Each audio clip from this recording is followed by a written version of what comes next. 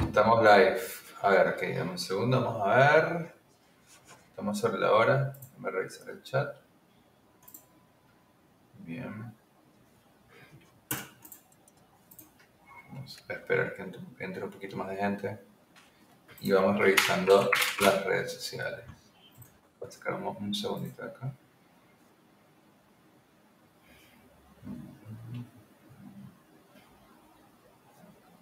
A ver.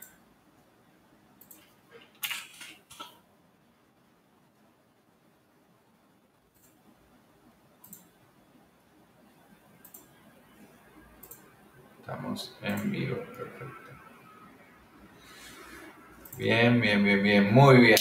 Ya empezó a entrar la gente. Por ahí está el amigo Daniel. Por ahí está el amigo Gustav, Eddie Casañas, Apolo. Ya están entrando todos. Vamos a ir un poquito de agua acá, porque hoy vamos a hablar bastantes pistoladas, como siempre.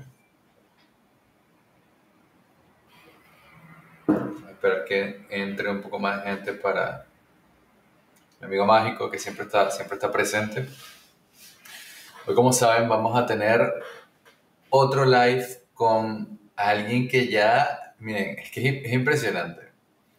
No solamente se convirtió en un referente de la casa, sino que con haber participado en uno de los programas, ya adquiere una fama internacional comparable, diría yo, no sé, Carlo Magno, Mahatma Gandhi. Me cuenta él que lo reconocen en la calle, que lo paran, que le dicen, mire, usted no es el profesor Tomás Guardia, este, el que apareció en ese programa con Andrés, o con el muchacho aquel es, el de, los lentes.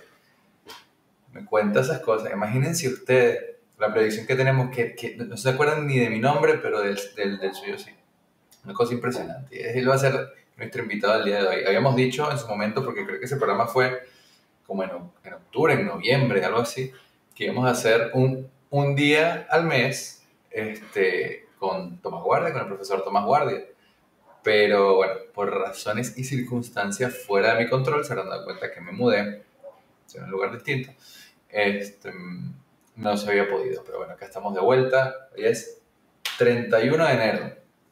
Vamos a tratar de que el próximo no sea el, tren, el 31, iba a decir, imagínense, el 28 de febrero, sino que sea, eh, no sé, dentro de dos semanas. Pero sí, vamos a buscar hacer este, este encuentro, ¿no? El, el live con el profesor Tomás una vez por mes, por lo menos, porque yo creo que con él se, se pueden hablar los grandes temas desde un punto de vista muy humano, muy, abarca, muy abarcativo. Eh, gracias a, a esa... él, él no le gusta mucho que yo le esté halagando todo el tiempo, pero, pero yo halago a quien, a quien lo merece realmente. Este, precisamente porque tiene esa cualidad de ser maestro, ¿no? de ser persona que acompaña, de ser persona que guía y no persona que simplemente instruye, que está por encima de ti. Y eso lo, ha dotado de, una, cualidad muy humana, que es la de poder ver, eh, intuir, quizás diría yo, este, cuestiones mucho más profundas, mucho más trascendentales, que tienen que ver con lo humano, con el desarrollo de lo profundamente humano. Y ese creo que es en gran parte el propósito de lo que tratamos de hacer acá. Cuando hicimos el programa sobre el venezolanismo, cuando hicimos el programa con él precisamente, este, la última vez sobre la crisis universitaria, lo que nos preocupó fue ese componente humano. ¿Cómo podemos hacer para transformar una educación que está abocada a un pensamiento masificador, utilitarista, materialista, eh, netamente, digamos, numérico, que él no me malentienda siendo profesor de matemáticas, sabe perfectamente a qué me refiero. ¿Cómo hacemos para convertir eso en una educación humana? Que tome todo ese gran potencial, esa riqueza, que es la más importante que puede tener un país, que es la riqueza, reitero, valga la redundancia, humana, ¿cómo hacemos para transformarla y hacerla válida, para crear la Venezuela del mañana? Hoy vamos a hablar de uno de los obstáculos, de los escollos más grandes que hemos tenido a lo largo de nuestra historia, que es la crisis de los valores. Creo que ha sido eh, probablemente el obstáculo fundamental para que nosotros hayamos podido desarrollarnos como nación. Los valores son el elemento fundamental en la formación de todo hombre. Todo hombre, mujer, por supuesto, eh, bien formado, eh, es la, digamos, la antesala de un hogar bien constituido y por lo tanto también la antesala de una patria bien consolidada. Eso no lo digo yo, eso lo dijo Alberto Adriani y además lo dijo Simón Bolívar. Vamos a hablar de todas estas cosas el día de hoy. Vamos a hablar de la crisis de los valores. Vamos a hablar de los antivalores, que es algo que parece que también se perdió porque ya no sabemos distinguir entre lo bueno y lo malo. Ya no sabemos ni siquiera qué es un antivalor. Vamos a hablar de la moral desde el punto de vista en el cual lo entendían, eh, por supuesto, eh, quizás de una manera más, más laica, hombres como Bolívar, hombres como Adriani, eh, hombres como, como. Y vamos a hablar de la moral, por supuesto, occidental, que es una moral que está determinada, que está pensada, basada en la ley natural, por el, precepto o los preceptos fundamentales de esto que es el magisterio de la iglesia. ¿no? No, dejamos de ser un país fundado bajo el ideal de la composición católica. Todo esto lo vamos a tratar el día de hoy con nuestro amigo de siempre, el gran Tomás Guardia, que yo creo que si hacemos otro programa más, me lo roba y ya se acabó. Esto va a ser este, la, la, palabra de Tomás y yo seré el invitado de vez en cuando, cada tres meses, eh, y aún así me sentiré honrado al respecto. Lo voy a hacer entrar por acá para que lo puedan ver ahí cabizbajo. ¿Cómo estás, Tomás? Bienvenido otra vez acá a un live conmigo en la palabra compartida. Ah, bueno, tú sabes que aquí no se puede dejar de tomar notas ni, ni bueno, de anotar cositas porque uno siempre tiene su, su dotes de, de docente. Pues bueno, antes que nada, ¿cómo estás, Andrés? Eh, me alegra iniciar la temporada 2022, ¿no? De tu canal, de la palabra compartida con estos directos, eh, circunstancias que nos los impidieron, entre ellas las navidades, ¿no? Y todas esas cosas. Pero bueno, aquí estamos, pues, con la promesa de tratar de que sea por lo menos una vez al mes que nos reunamos y discutamos estos temas, ¿no? Que son importantes porque tú estás desarrollando una línea muy interesante de definir, ¿no? Lo que es el venezolanismo. Y eso es algo complejo, un concepto que no es trivial, que, eh, que hay que desarrollarlo para una Venezuela futura, porque yo no estoy seguro si la voy a ver o no, ojalá la vea, pero las ideas deben quedar ahí, las ideas trascienden las generaciones. Y eso es lo que tú estás construyendo, ¿no? Te felicito. También me quiero tomar brevemente eh, dos minuticos para felicitar recientemente el aniversario de Venezuela Inmortal, ¿no? 10 años. 10 años. Recientemente lo acaban de cumplir otros muchachos extraordinarios, Francisco, que te acompaña en el podcast de, de, la palabra compartida y ese grupo. Y, que tuvo un evento, tuvo un evento muy bonito hace dos semanas. Sí, así. Muy, muy interesante. Y bueno, yo creo que hay que apoyar a los jóvenes, ¿no? Como Andrés, como Francisco, como, como Alejandro, que viene directo con Andrés el, el, el miércoles. No, el jueves. El jueves, el jueves perdón. Y eh, porque ellos son los que van a construir el país, pues las generaciones futuras de venezolanos dentro de Venezuela, fuera de Venezuela, son los que van a construir con valores, que es el tema que vamos a hablar hoy, con, con trabajo, pero sobre todo con lo que tú dices, con amor a Venezuela, con amor al país, ese país que nos merecemos todos. Pero bueno, para mí es un placer estar acá una vez más. Y bueno, eh, gracias a la audiencia, siempre leal, siempre escuchándonos aquí. Y bueno, cuando tú quieras arrancamos. Arrancamos, perfectamente. Bueno, nada, como te dije, gracias por estar acá de vuelta. El tema de hoy, les reitero, es, vamos a hablar un poco de los valores. Es un concepto, diría yo, este, que puede ser engañoso, ¿no? Porque yo creo que, y esto me lo mencionaba el otro día, eh, alguien por el, el, chat de Discord de, de la Venezuela Inmortal, del cual formo parte, eh, que porque si hablamos de los valores, no hablamos precisamente del gran problema detrás de la pérdida de los valores que, que, que, que, hace que esto sea algo aún más complejo, que es la pérdida de los antivalores. Y es lo que me está tratando de referir es esto, que no podemos distinguir una cosa de la otra. Llegamos a un punto en el que empezamos a confundir valor con antivalor. Y esto no es algo que sucede solo en Venezuela, esto está sucediendo en el mundo entero, pero ya nos vamos a meter un poquito en eso. Yo quería empezar, en primer lugar, con la mención al pensamiento de dos venezolanos extraordinarios, que justo los comenté hace poquito. Uno, ah, uno es eh, Alberto Adriani, por supuesto, que nunca puedo evitar mencionarlo, porque es que tiene tanto para decir, dijo tanto y ha sido tan poco estudiado y está tan vigente, más en este tema en particular, que creo que, que vale la pena traerlo a colación. Y otro por supuesto, Simón Bolívar. Que justo mencionabas, tenemos el jueves el live con, con Alejandro y vamos a hablar de un tema bien interesante que está corriendo mucho en redes sociales, que es el tema del hispanismo hay una especie de pelea, de, confrontación entre hispanistas y bolivarianistas o independentistas. Por eso decidimos llamar a ese programa Hispanismo, Metodología Doctrina, para acabar con muchos de estos mitos, porque en realidad allí no se está hablando de dos cosas que estén contraposición ni que sean contradictorias. Esto lo vamos a andar después. Pero quería traer a colación el pensamiento bolivariano el día de hoy para que, digamos, veamos el potencial y la profundidad que todo esto tiene. No, no por nada en Venezuela se enseñó por muchísimos años doctrina bolivariana, cátedra bolivariana, moral, moral y luces, o todos los nombres que haya tenido esa, esa materia en particular en las escuelas venezolanas, hasta que por supuesto se degradó y se convirtió en una cosa completamente distinta que no tiene que ver con la formación del hombre en su dignidad. Pero el pensamiento bolivariano tiene una gran importancia porque dentro de lo que fue eh, eh, digamos, la línea de los padres fundadores, en el caso latinoamericano, Bolívar tiene un papel trascendental porque probablemente, debido a su experiencia, debido a todas las, situaciones que tuvo que vivir en su vida, llegó un punto en el cual se dio cuenta, habiendo sido un hombre de armas, pero por supuesto un hombre bien formado, que la única manera de construir nación era a través de la construcción de una moral fuerte de la construcción de una ética de base.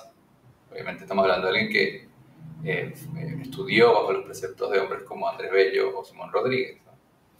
Pero para encauzar de vuelta, yo quería referir a un ensayo de, Alberto Adriani, que es muy interesante, que es además un ensayo de, sus inicios. Alberto Adriani tenía más o menos 18 o 19 años cuando escribió esto, imagínense. Y se llama eh, Progresos Democráticos de América Latina. Y él allí menciona algo que es bien interesante, que tiene que ver con el concepto de educación. En ese momento, en el mundo entero, en Venezuela en particular, se está dando un desarrollo de la sociología. ¿no? En el caso venezolano, se había dado ya, había empezado con Vicente Lecuna, se está dando con María Señora Gorri, pero también se está dando con Alberto Adriani. Eh, y para Adriani, el, el, la gran eh, observación que tienen los sociólogos en ese momento es que se dan cuenta que la educación es el motor fundamental de las grandes transformaciones históricas. Y para él la educación no es otra cosa que un proceso jerárquico, jerárquico porque definitivamente hay que, digamos, estamentarlo de algún modo, ¿no? Eh, darle un ordenamiento que se divide en tres cosas, una educación moral, una educación técnica y una educación intelectual. Por encima de todo está la educación moral. ¿Por qué? Porque para él la educación moral es la que forma a los hombres, si tú formas a los hombres, y con esto estoy hablando de todos, estoy hablando de hombres y mujeres, hoy en día parece que bueno, hay que hacer ese tipo de aclaraciones. Eh, cuando formas a los hombres, enalteces el hogar y engrandeces a la patria. Esas son las palabras de Adrián. Bien.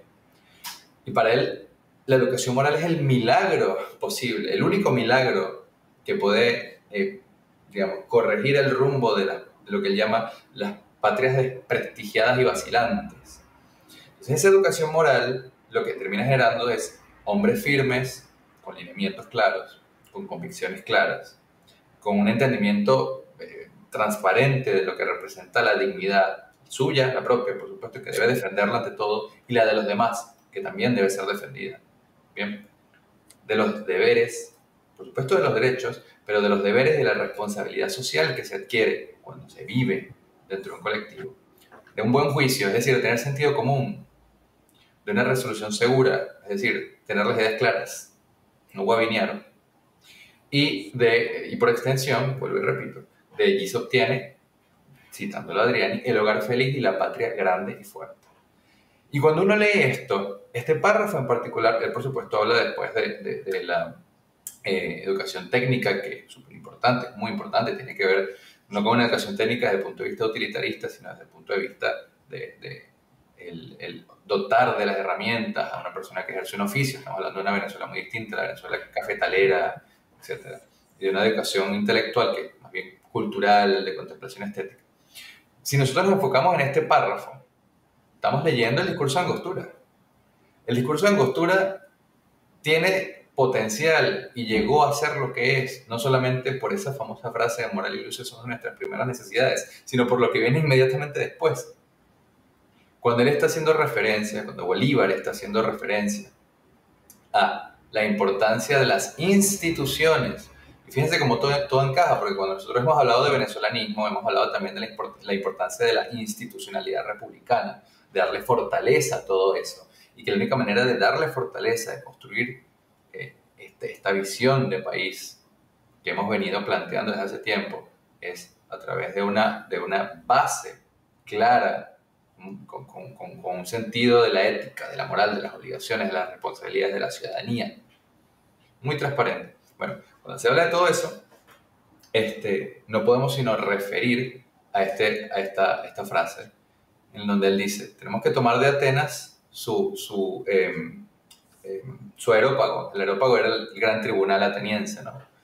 Este, y, por supuesto, a los guardianes de las costumbres y de las leyes, y de Roma a sus censores.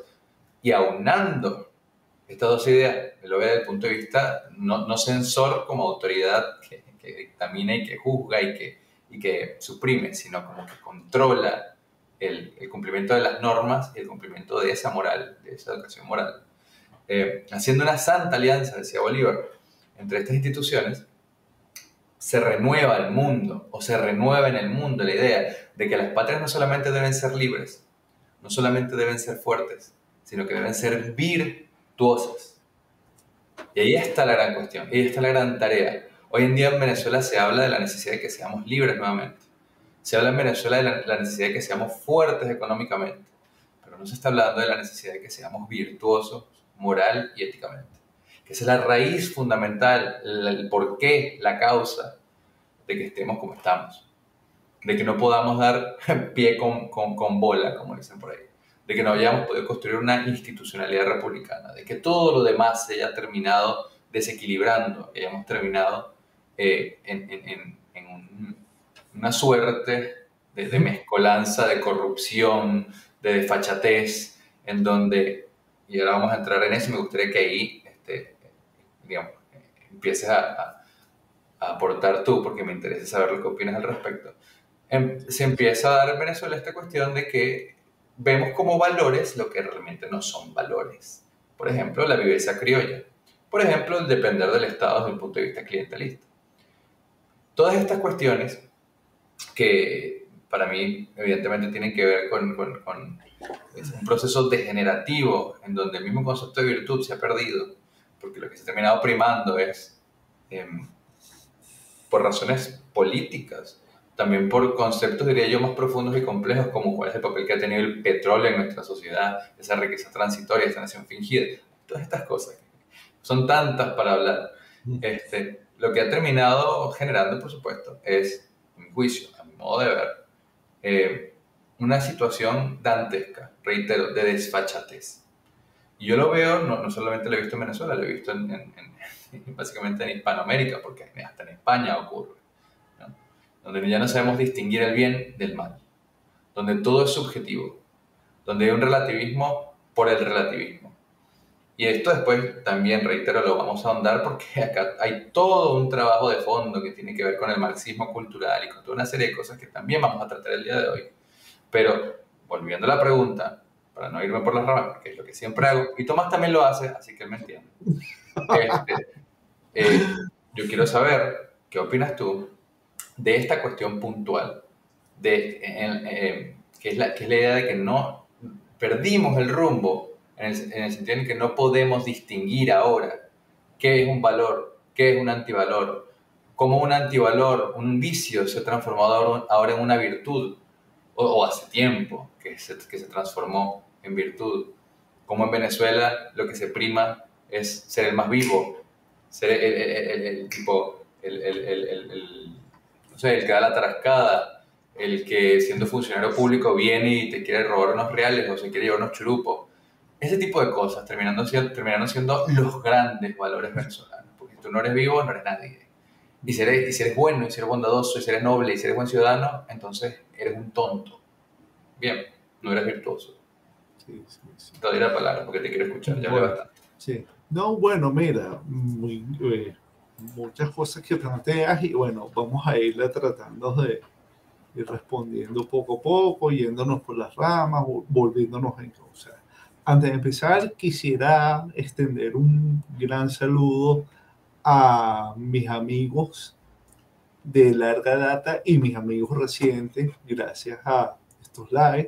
Quiero saludar a Gustav, quiero saludar a Misael, que son los amigos recientes que, he conocido gracias a la amistad contigo. Y mi querida Lourdes y mi querida Alicia, de, que son grandes amigas de la Facultad de Ciencias Lourdes y Alicia de la Facultad de Medicina. Un saludo a las dos, las quiero mucho y las extraño. Bueno, mira, em, fíjate, tú comenzabas con, con valor y antivalor. Entonces, sí, yo por aquí tengo el diccionario ¿no? de, la, de la RAE. Valor tiene varias acepciones. Vamos a empezar por el principio. Vamos con una definición bastante sencilla, pero que nos ubique en el contexto de lo que queremos desarrollar. La décima acepción en filosofía es una cualidad, valor se define como, entre las tantas acepciones que tiene, como una cualidad que poseen algunas realidades consideradas bienes, por lo cual son estimables. ¿no? Entonces, los valores son esos, son, es, la, es la escala, es la estimación, es la eh, cuánto tú consideras importante, cuánto tú consideras em, que, es, eh, que es preciado las entidades abstractas y las entidades físicas. Entonces, tú decías eh, acertadamente que los antivalores se están confundiendo con los valores. Y eso lo vemos a cada rato en Venezuela y lo vemos a cada rato, bueno, aquí en Estados Unidos y prácticamente todo el mundo, porque cuando, cuando, cuando nosotros hablamos de la crisis de los valores en Venezuela hay una crisis de valores de eso, no hay duda, y ya vamos para allá. Pero es que también hay una crisis eh, global, hay una crisis mundial de los valores. Estamos viendo cómo en los actuales momentos el concepto de familia se está tergiversando por completo. Familia es prácticamente cualquier cosa, pero más allá de, de, la concepción de una familia como papá, mamá de los hijos, sino que el mismo hecho de la unión de una pareja, y un matrimonio puede ser de una persona con una computadora o una pared que leí, o sea, que tú te autopercibes un objeto inmaterial, entonces ya va, ¿de qué estamos hablando? O sea, cuando eso comienza a incorporarse a la nueva lista de los valores modernos, porque hay que ser inclusivo, porque tenemos que aceptar a todo el mundo, porque tenemos que eh, darle un espacio a cosas que son locuras totales, bueno, caemos en que no tenemos claro qué es una cosa o qué es la entonces, por ahí yo creo que es un buen comienzo, ¿no? Eh, decías que Adriani, y me parece bien, acertada la, mención, la cita de Alberto Adriani de la educación ciudadana. Bueno, yo te cito a, Pitágoras, que yo no sé si es apócrifo o no la cita, pero se decía que Pitágoras decía que educa, educar a los niños para no castigar a los hombres. Entonces, yo creo que la familia es la fuente, Andrés, originaria de los valores. Son los padres, papá, mamá, y por supuesto la extensión natural, los, tíos, las abuelas, los abuelos, etcétera, los primos, quienes transmiten esos valores a las futuras generaciones. A mí me enseñaron en mi casa, eh, Vamos a empezar con un valor muy sencillo. Pues a las damas ni con el pétalo de una rosa. Y eso me lo repetía mi papá a cada rato, a cada rato, a cada rato. Pero no solamente es la prédica, o sea, tú tenías que ver que en efecto tu papá, la persona que te decía eh, a las mujeres con el pétalo de una rosa, lo ponía en práctica. Porque de nada sirve promover un valor cuando tú como niño ves que tus padres hacen todo lo contrario. Eh, no fume, pero entonces yo me bajo dos cajas de cigarrillo. No beba, pero entonces llego borracho todos los viernes a casa. A las mujeres no se le pega, pero entonces en una borrachera le medio matas a la esposa porque no puedes controlar tu, tu, tu violencia. Entonces, el mensaje tiene que ser consistente no solamente con lo que dices, sino con lo que haces. Entonces yo creo que es más importante lo segundo, porque tú puedes cambiar de parecer en cualquier momento, puedes corregir, puedes, bueno, me equivoqué, eh, antes pensaba una cosa, ahora pienso todo lo contrario. Pero el ejemplo es lo más importante. Entonces, mira, la escuela hoy en día, eh, para no hablar tanto de la universidad, que ya hablamos eh, la otra vez, pero van conectadas. La escuela que se ha convertido, se ha convertido en un lugar donde prácticamente no se educan a los niños. La, los niños sencillamente, porque en el pasado existieron malos profesores, malos maestros que castigaban a los niños, que los agredían, y eso está mal.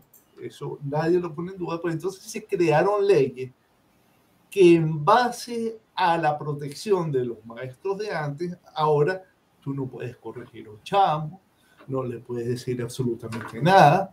Todo es, en estos días me mandaban a hacer aquí en la universidad un curso de microagresiones. Yo ni siquiera mm. sabía lo que era eso. O sea, unas ridiculeces que no tienen sentido cuando tú a la hora de corregir un niño con firmeza y con autoridad, no estoy diciendo que hay que pegar, estoy diciendo que hay que ser firme y mostrar autoridad. Eso no se hace.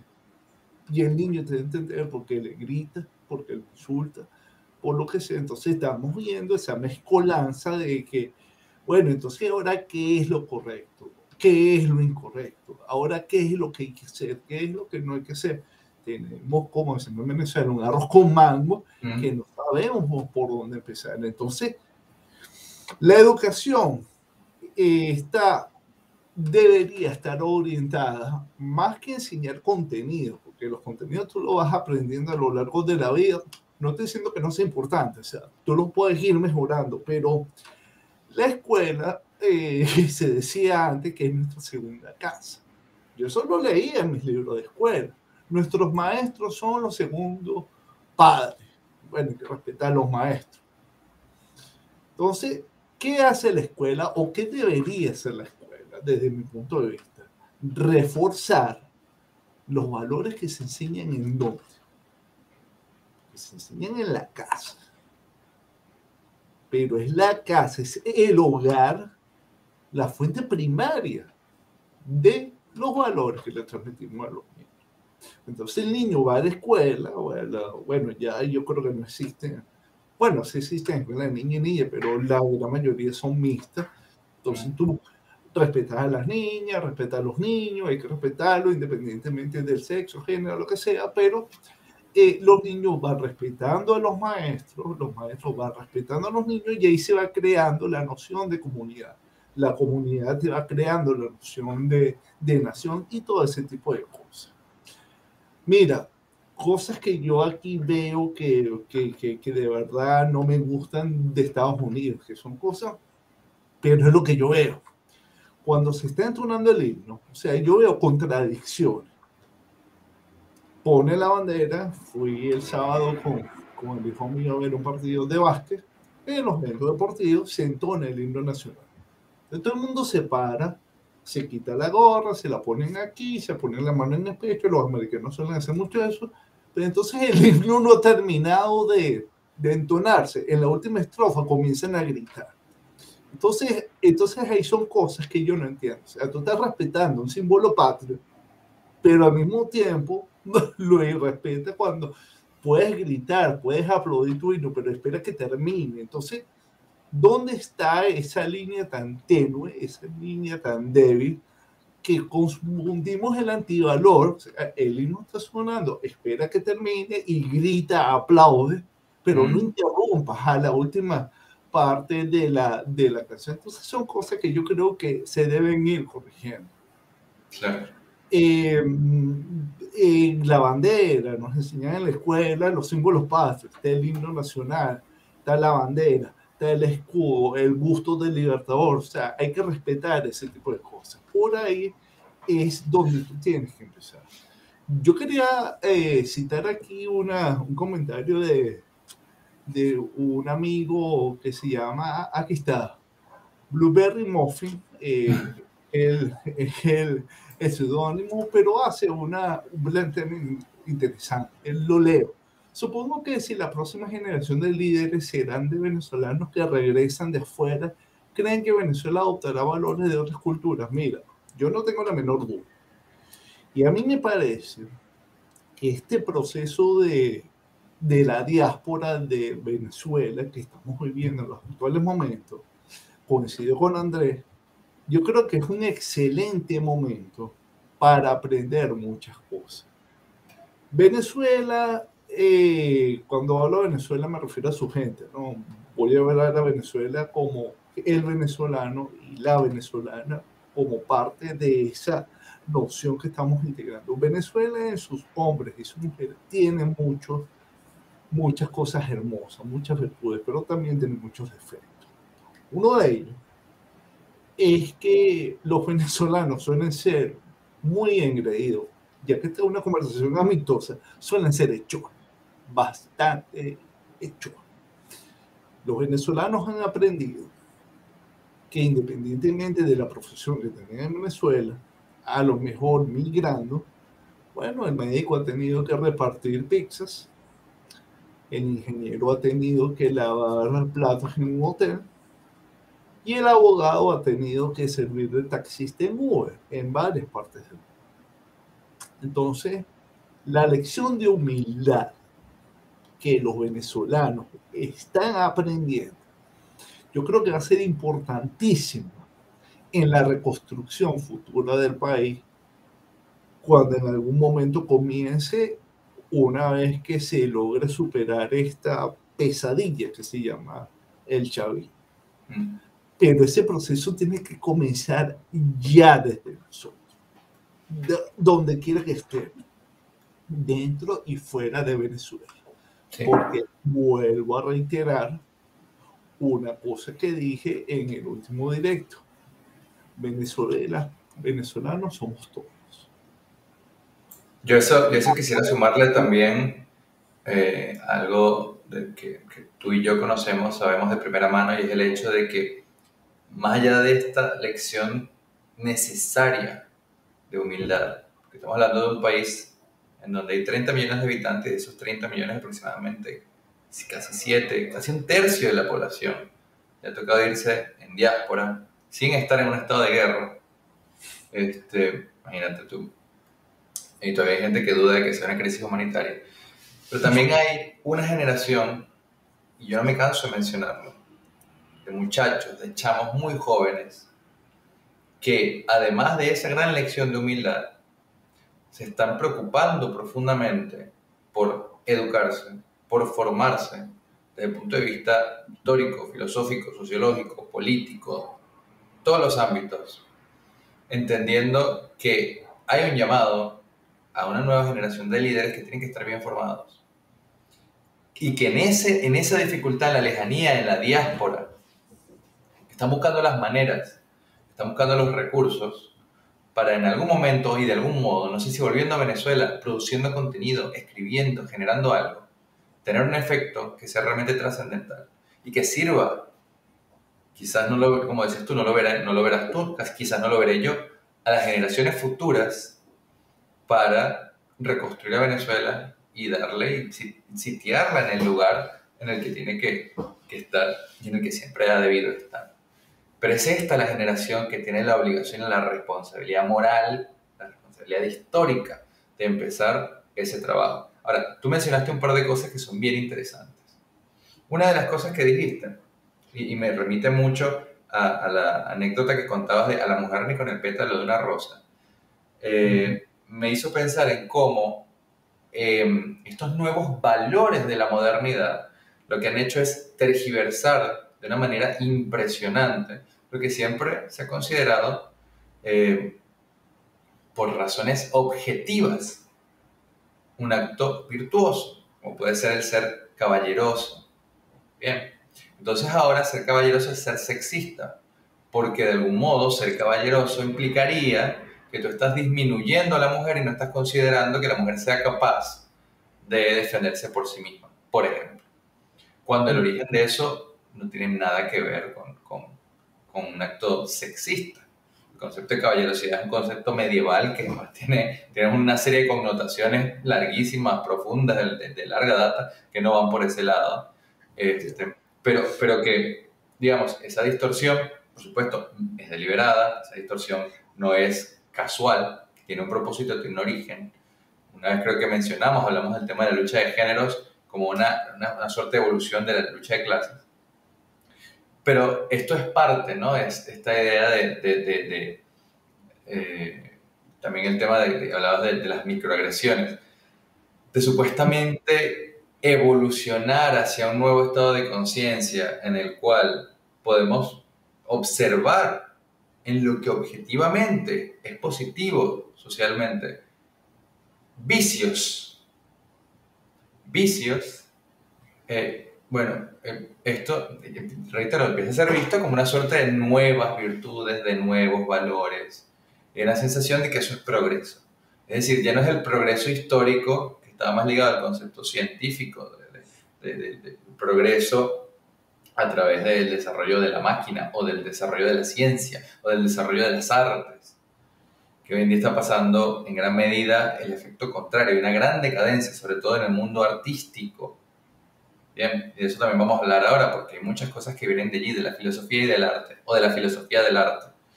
Eh, pero sí hay esta idea de que el progreso moderno y mm. todo lo que sea ajeno a ese progreso, a ese progreso moderno, o, o sea, contrario a ese progreso moderno, es evidentemente anticuado, es retrógrado, esa palabra la utilizan muchísimo, y por ende debe ser atacado porque es un vicio. Ese es un problema gravísimo. Y esto nos habla, y con esto quería ir al segundo punto, de cómo hemos entrado en un espacio de subjetividad, de relatividad absoluta. Mira, a principios del siglo XX se dio una crisis muy fuerte, que fue una crisis dentro de la filosofía, que afectó todos los órdenes de, las artes, empezando por la literatura, con un poeta eh, de origen eh, eh, yo sé que él no era francés, no recuerdo exactamente dónde nació él, que se llama Malarme, eh, pero hizo su carrera en Francia, y que tenía que ver con la imposibilidad de seguir comunicando, era una preocupación por el lenguaje, de seguir comunicando las cosas porque el lenguaje no, no, era, suficiente para decir lo que se quería decir. Bien, entonces en ese momento eh, empiezan a surgir movimientos, corrientes muy conocidas por todos, como lo son, bueno, el modernismo, las vanguardias, etc las vanguardias cumplen ahí un papel fundamental.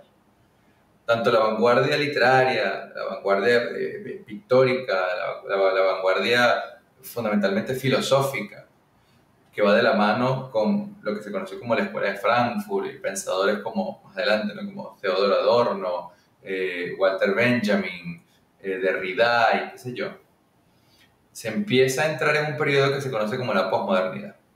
Pero lo que ocurre con las vanguardias es que las vanguardias empiezan a decir, desde el punto de vista artístico, un, un, concepto que en ese momento parecía muy inocente, pero que terminó siendo muy contraproducente, es la idea de que todo el mundo es artista, todo es arte. Uno determina, porque así, digamos, lo dice su voluntad, que es artista porque lo es, sin que haya de por medio ni talento, ni técnica, ni esfuerzo, ni sacrificio.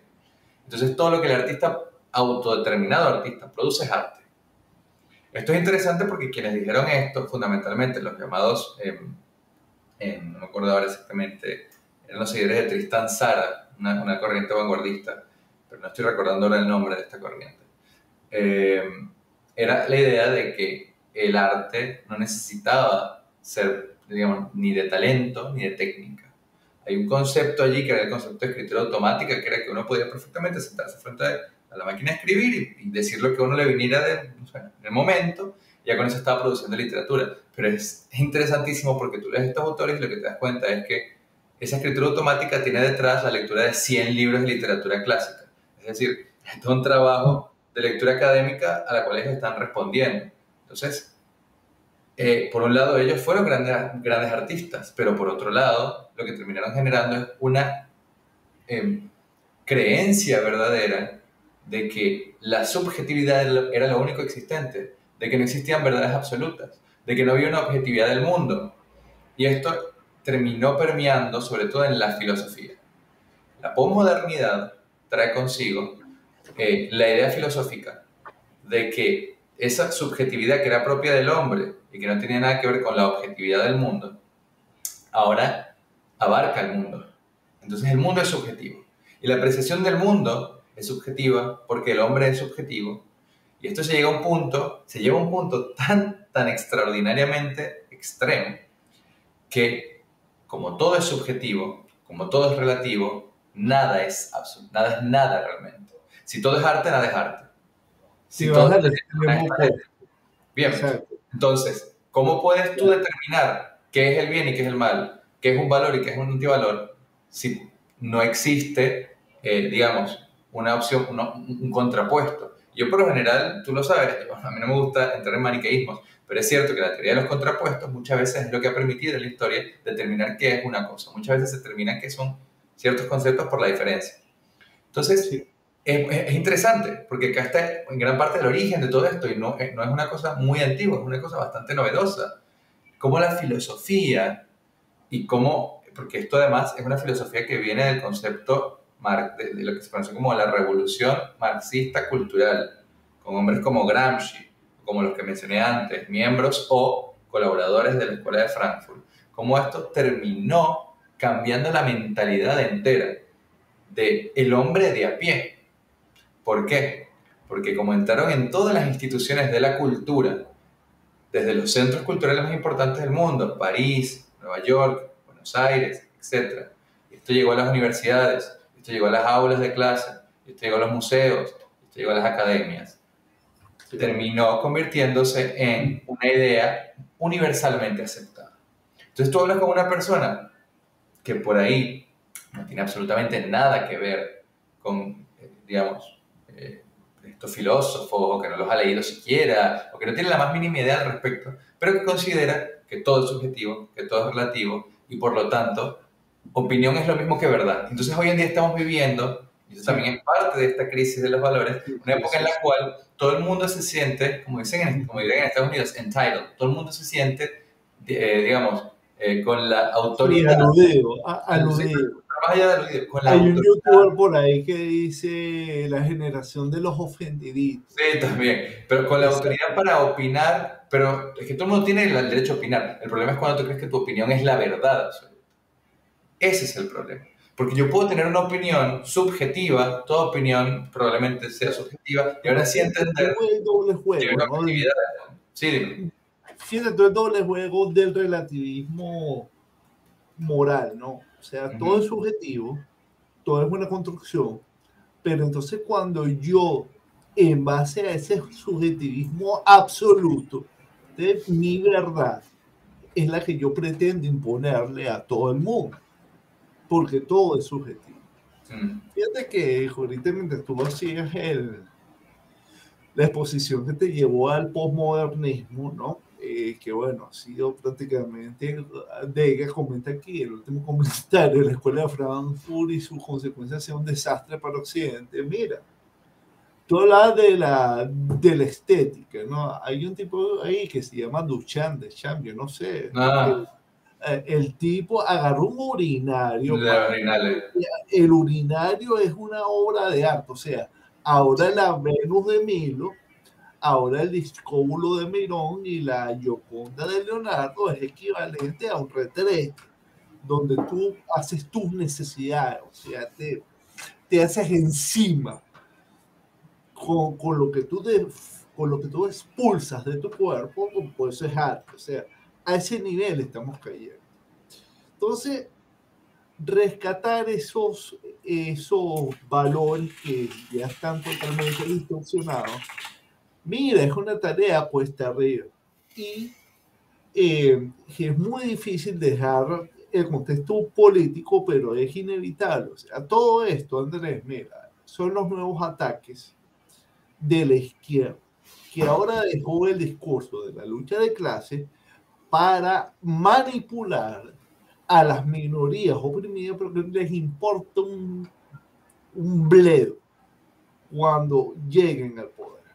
Entonces ahora todo es una inclusión, eh, lo que llaman aquí la acción afirmativa, para, eh, ya no se habla de igualdad de oportunidades, sino equidad, y entonces tú caes en, en una distorsión de todo cuando tiene que ser el trabajo, la disciplina, la constancia, eh, muchas cosas que es lo que tú tienes que promover, entonces no, ahora, o sea, ya aquí el sentimiento en Estados Unidos es prácticamente que una persona que nace blanca ya automáticamente es racista por definición, una cosa que, que es una locura. Se hablan del privilegio blanco, white privilege. Eso que dice Gustavo, las leyes de cupo, o sea, no puede ser, no puede ser. La gente tiene que ser admitida en las instituciones gracias a sus talentos, no a su color de piel. Bueno, aquí en Estados Unidos hay una obsesión con eso de las razas y las etnicidades que yo no entiendo cuando todos somos seres humanos. Científicamente, ah, bueno, porque ahora la ciencia también es relativa, ahora hay ciencias populares, ciencias tribales, ancestrales, que tienen el valor, eh, la misma escala de valor y de, y de, y de, contra, y de contraste que la, que la ciencia experimental. Entonces ahora tú no puedes decir que la humanidad es una sola. O sea, eso de raza, eso no tiene sentido. Somos seres humanos todos. Cuando tú empiezas a discriminar por raza, ya esa acción en sí misma es racismo, ¿vale? Pero eso tú no lo puedes decir. Porque entonces acabas aniquilándolo. Mira, ya un poco para ir atrás, este, y vamos adelante y adelante y hacia atrás con todos los planteamientos. Fíjate, tú en Venezuela hay un fenómeno muy interesante que yo observo con los venezolanos en el exterior.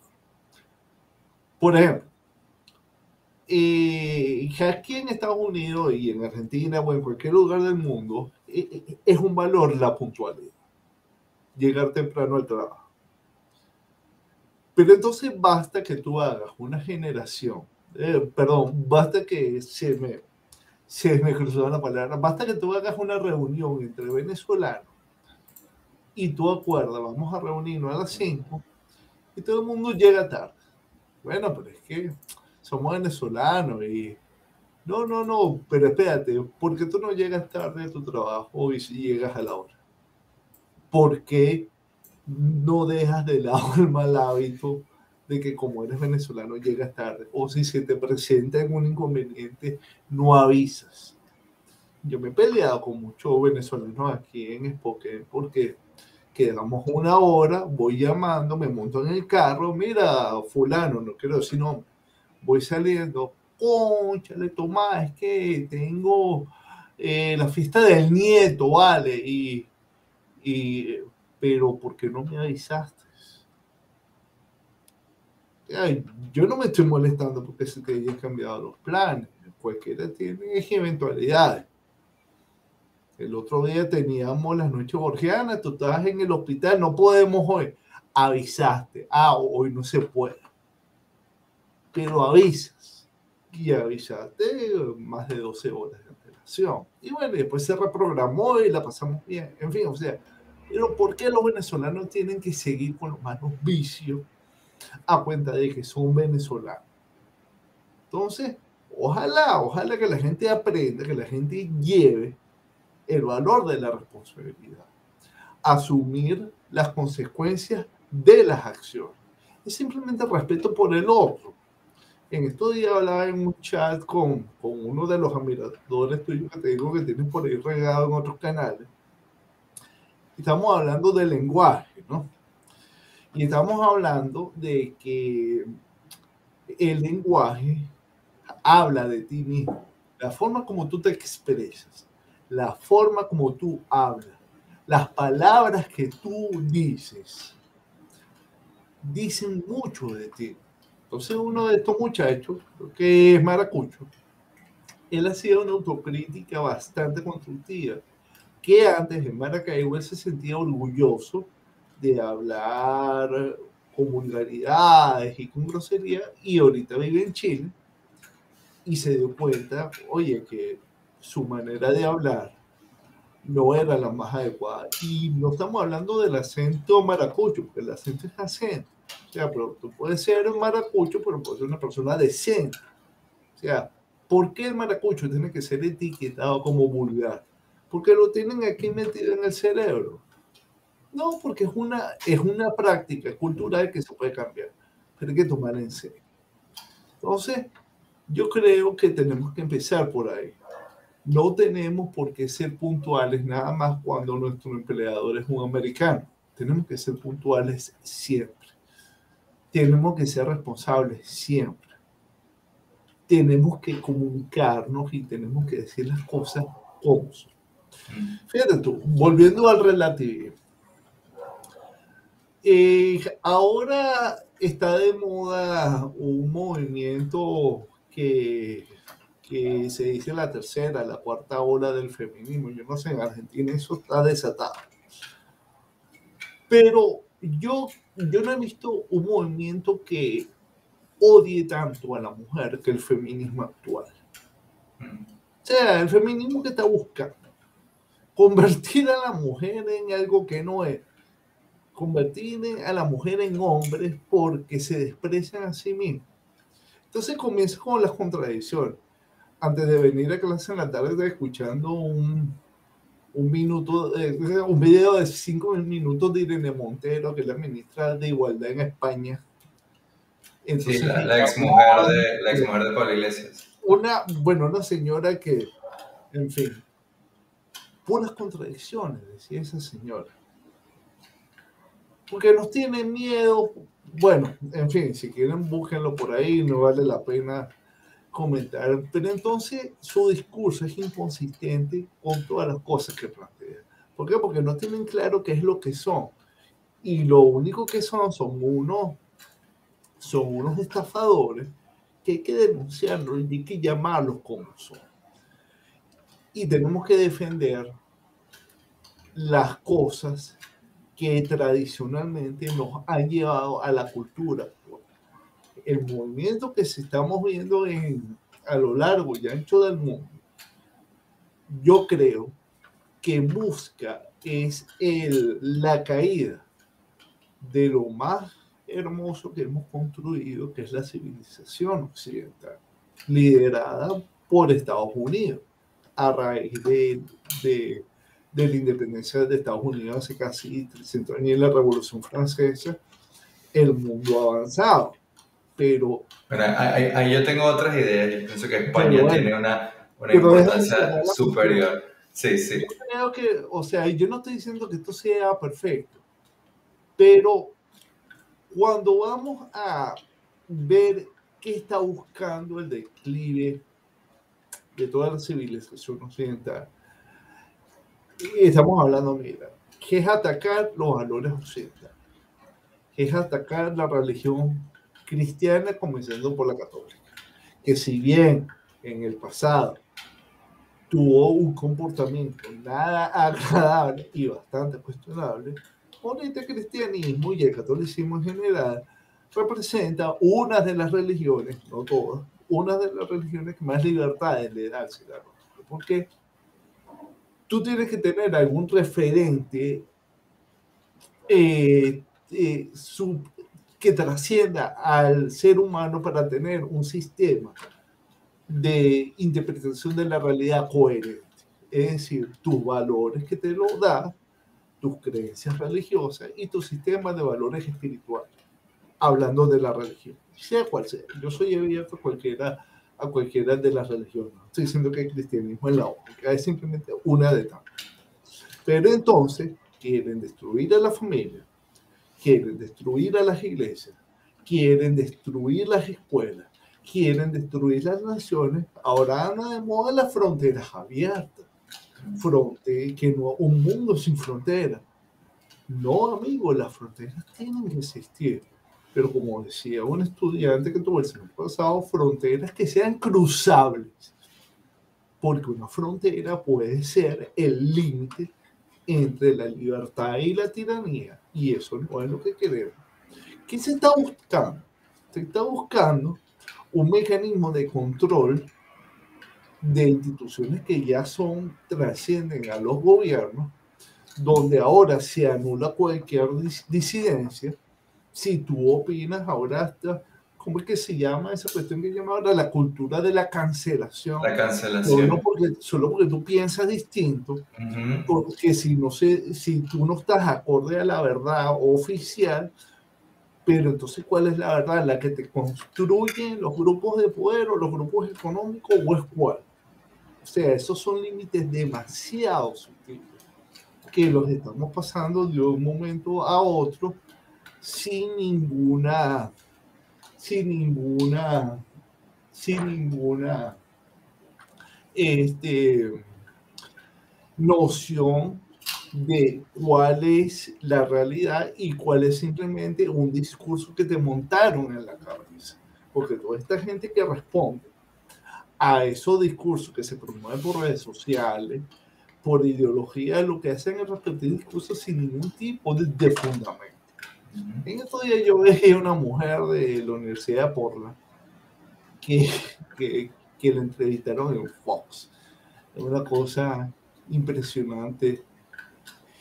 Ella comenta que la matemática es racista porque eh, porque cuando se fundaron los Estados Unidos se utilizaban estadística para contar los que Entonces, imagínate todo el argumento de la Ahora, lo que a mí me dio un suspiro es que cuando me voy a los comentarios del video, la comunidad de YouTube estaba clara y le desmontaron el discurso.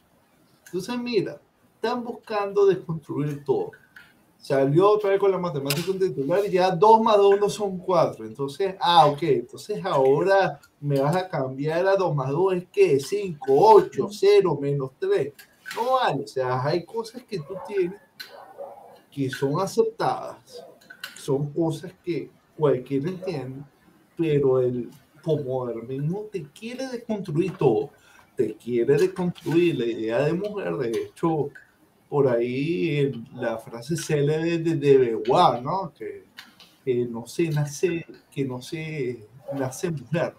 Imagínate tú, no se nace mujer, o sea, tú no tienes un par de cromosomas XX y no tienes un sistema reproductivo con óvulos, trompas y ovarios, no, sino que si llega a serlo, o sea, ser mujer es una construcción social de una protección, una locura total.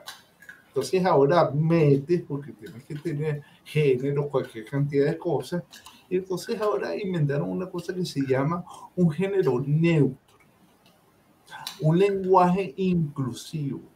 Mm. Ahora ya no es todos y todas, como le encantaba a Chávez, sino mm. todes. Una distorsión del lenguaje que lo único que busca es anular tu cultura, man.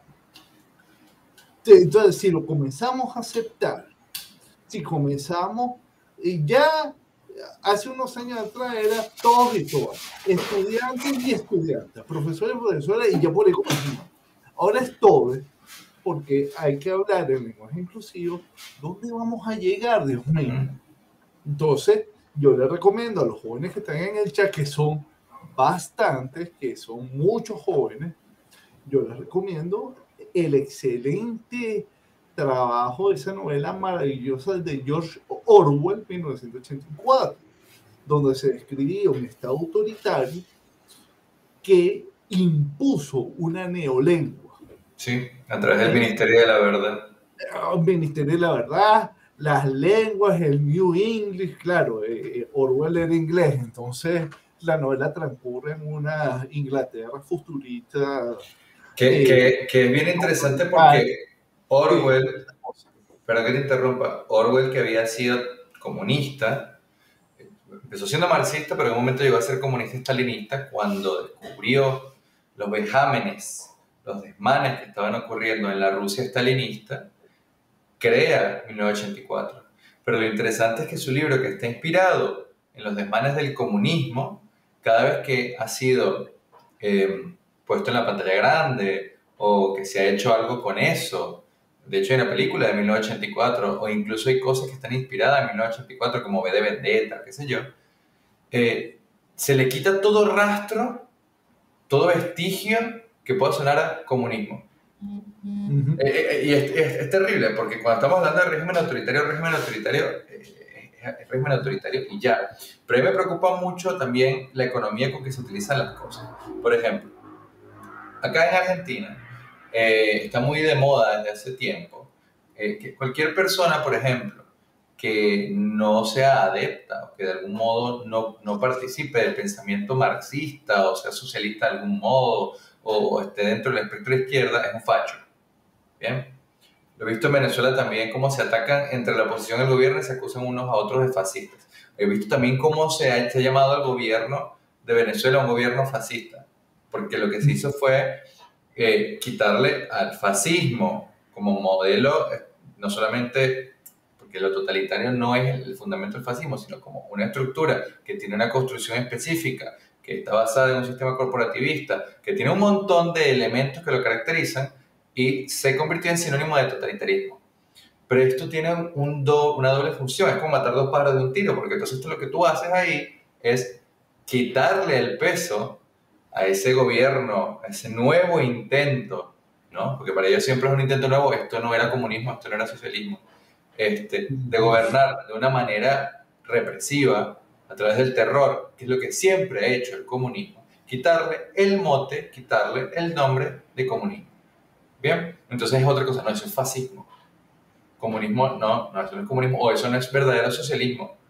Socialismo es, no sé, el, nórdico, que eso no tiene nada que ver con el socialismo, porque estamos hablando de la mayoría, en una inmensa mayoría de, de países que, donde funcionan monarquías constitucionales este, y en donde hay un libre mercado y un respeto por la propiedad privada y una serie de cosas que por supuesto van en contra del concepto de marxismo científico y, y socialismo según como lo entendemos hoy en día. Pero bueno, tú mencionabas todas estas cosas y son interesantes porque yo quiero ir ahí a un punto que por supuesto todo esto eh, sigue un mismo eje que es la idea de la pérdida de los valores y cómo nos hemos ido confundiendo y cómo ahora creemos que cosas que no son valores son valores, etcétera, etcétera.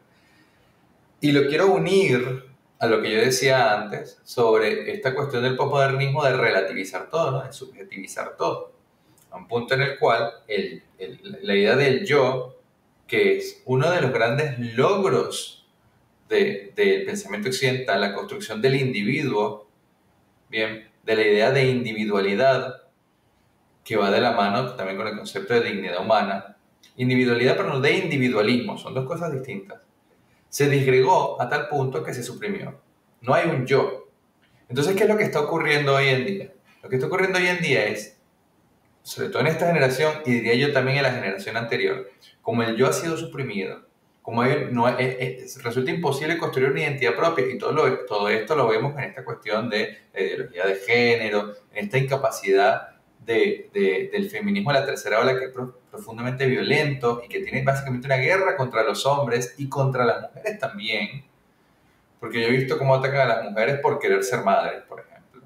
Lo que se ve allí es, como no existe una identificación, una construcción, una consolidación de uno mismo como individuo, entonces uno se construye en base a una, idea colectiva. Y lo que termina ocurriendo es que si yo ataco la idea, que esto es una locura, pero es lo que está pasando hoy en día, la gente se siente atacada porque la gente adoptó la idea como su identidad. Bien, y eso también es parte de la pérdida absoluta de conceptos esenciales que son valores en esencia. La idea de que existe un individuo y de que ese individuo es digno porque, es, porque, porque nació, porque es un ser humano y lo que, lo, lo que le hace ser humano es eso, la idea de dignidad humana, que parte de la ley natural, que por lo tanto tiene una serie de derechos fundamentales, derecho a la vida, derecho a la propiedad, una serie de cosas, pero también tiene una serie de deberes y responsabilidades. Todo eso se ha perdido, todo eso ya no tiene sentido, todo eso ya no se justifica, porque todo es relativo, porque todo es subjetivo, porque el yo no existe. Bien, entonces tú lo ves, lo ves en todas las, facetas del arte, lo ves en la política, lo ves en el discurso político, que es lo más cercano que podemos tener, este, digamos, como, ciudadanos en el caso de una ciudadanía o como habitantes de un territorio, dado el caso, ¿no? Y esto me, me, lleva a otra cosa más, que es la necesidad, yo lo quiero entroncar con las veces que hemos hablado del, del término venezolanismo, de construir una opción política en donde haya una cosmovisión metafísica. Los valores, la moral, la ética, son cosas esencialmente metafísicas. No pueden ser analizadas desde el punto de vista empírico, material, objetivo. Entonces, digamos, objetivo en el sentido de que tú no puedes medir, porque son cosas que están por encima. Bien, los valores precisamente son lo que, lo que nos hace trascender de algún modo, lo que nos hace ser virtuosos, lo que nos hace perfectibles, no perfectos, perfectibles. Entonces, si tú tienes, y este es, tú podrás estar de acuerdo conmigo o no, pero si tú tienes y vives constantemente en esta dicotomía en la cual la única posibilidad que, que, que, se te presenta ante los ojos es la de el colectivismo que destruye, por supuesto, la, la individualidad del hombre, o el individualismo exacerbado, que no, que no piensa en la importancia del colectivo, de la comunidad y por ende tampoco existe para él la familia como núcleo de la sociedad y mucho menos la idea de la nación o de la patria como la consolidación de, de todos esos pequeños núcleos, entonces estamos en un problema. Es lo que está pasando. Vivimos rodeados de dos opciones que son netamente ideologías o doctrinas materialistas. ¿Cómo puede haber valores? ¿Cómo puede haber virtudes? ¿Cómo se puede hablar de una moral y de una ética dentro de un pueblo o dentro de una sociedad global o como tú lo quieras llamar? Si lo que está primando es la posibilidad única de elegir entre una doctrina materialista y otra doctrina materialista, que es lo que está pasando con las distintas vertientes del marxismo o quizás con las vertientes más exageradas, más, más, más radicales también del liberalismo, incluso ni siquiera lo he visto en, en, en, formas más moderadas también, en un punto en el cual se cruzan, porque terminan preocupándose, por ejemplo, simplemente por lo económico, pero no por lo cultural, y la cultura es lo fundamental, la cultura es lo que determina todo. Nosotros perdimos la batalla cultural y esa es la razón por la cual estamos aquí el día de hoy, hablando de esto, sintiéndonos casi impotentes ante la realidad que nos rodea porque son décadas de trabajo organizado, estructurado, con miles, millones de personas trabajando como hormigas para llevarnos hasta este punto. Y es terrible porque lo que está ocurriendo, y, lo y, eso, esto se lo quiero sumar a lo que mencionabas antes, es que la sociedad occidental no es que está siendo destruida y degradada, se está destruyendo a sí misma. Mm. No es un enemigo externo que nos viene a atacar y ya, que, que, nos está, que estamos en una guerra, por ejemplo, en contra de, de, de, una cosmovisión distinta. No, no es la reconquista.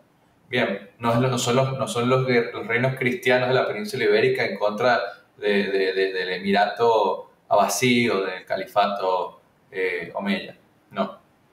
Es Occidente destruyéndose a sí mismo, desintegrándose, destruyendo Occidente.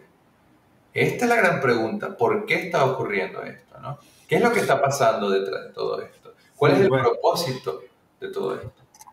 Mira, yo creo que el propósito detrás de todo esto es la sumisión total y la anulación absoluta del ser humano, de sus libertades, de su, de su autodeterminación y su disposición a amar. Mira, yo quiero retomar ese punto de Occidente. Vivimos en la mejor época de la humanidad. Ya hemos superado la esclavitud, ya superamos esos reyes tiránicos, ya superamos ese feudalismo que tanto atraso representó para la Europa de miles de años. Vivimos en un estado moderno que nos trajo la ilustración. Esta visión del mundo que tenemos actualmente, donde poseemos la mayor libertad que nunca habíamos tenido y donde tenemos la sociedad más avanzada, que ha producido las mejores tecnologías y que ha elevado la calidad de vida del hombre, sido Occidente. La civilización occidental es la que le ha dado luz al mundo. Y por eso, cuando tú ves países autoritarios como China que han logrado balancear su sistema comunista con una economía de mercado, pero a punta de esclavitud, es porque el modelo que Occidente puso está funcionando y ha funcionado. Y mira, se está buscando aniquilar eso. Yo que anoté un par de estudiantes del semestre pasado que me, que me inspiran a seguir adelante dejando de lado el miedo. Yo creo que el miedo nos ha, nos ha hecho mucho daño porque ya ya tememos decir lo que, lo que expresamos, por temor a ser señalado, por temor a ser cancelado, y el miedo hay que dejarlo a un lado. Si queremos defender nuestros valores, tenemos que hacerlo desde la valentía, desde la gallardía, desde la honestidad. Y el miedo es incompatible con todos esos atributos que te acabo. La anécdota es esta, la voy a resumir un poco. Eh, de vez en cuando yo no me entrego el almuerzo, a mí me gusta almorzar aquí en, en el comedor de la universidad.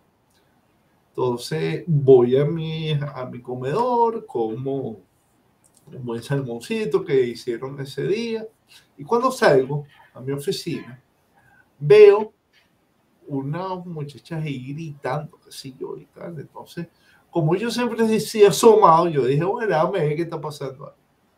Entonces veo que era un grupo de feministas pro aborto, gritando sus consignas. Frente a ellos había una gran protesta de, de unas cruces denunciando todas las muertes de Plan por los abortos y eran unos grupos pro vida que estaban ahí repartiendo su, su volante y consecuencia le instalaron una, una feminista enfrente yo me le acerco a los grupos pro vida, obviamente, y bueno, y lo felicito, su cuestión, ay, gracias, profesor, ok, bueno. Y cuando voy a dar la clase, yo le digo a los estudiantes, yo le digo, muchacho, mire, hay algo que acabo de ver y se los quiero comentar. Entonces le digo, bueno, vi esto, había una muchacha ahí protestando, mi cuerpo me dice, y los de frente, las cruces y ya, ya entonces yo le digo a los estudiantes, miren, sí, y, y, con respecto a las damas, que es a donde va mi mensaje, y ya los muchachos también, porque van a ser padres. Sí, sí, es verdad, es su cuerpo y es su decisión, pero, pero evalúen bien qué decisión van a tomar. Porque yo les puedo decir una cosa, el día que yo fui padre, yo entendí lo que significa tener un hijo. Y cuando yo cargué a mi hijo entre mis manos, mi vida me cambió por completo. Entonces sí, en sus manos está la decisión de la vida o la muerte. Tomen la decisión correcta. Yo sí vi que una muchacha estaba sonriendo.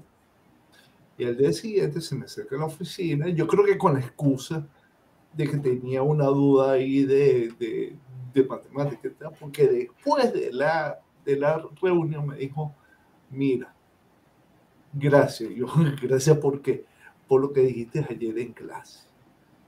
Y yo sobre qué bueno lo que dijiste, porque de verdad, ¿cómo tú te atreves a hablar en una universidad que es abiertamente de izquierda a promover valores conservadores, pro eso? Y yo le digo, bueno, porque no tengo miedo.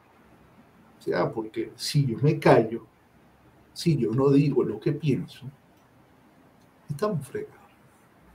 Después vino otro chavo, también a decirme, oye, profe, de verdad que que me impactó su, su, su discurso, fue lleno de morales y todo eso. Bueno, em, tú sabes que al final del semestre di una charla sobre Venezuela y comunismo, bueno, lo echamos, encantaba todo eso.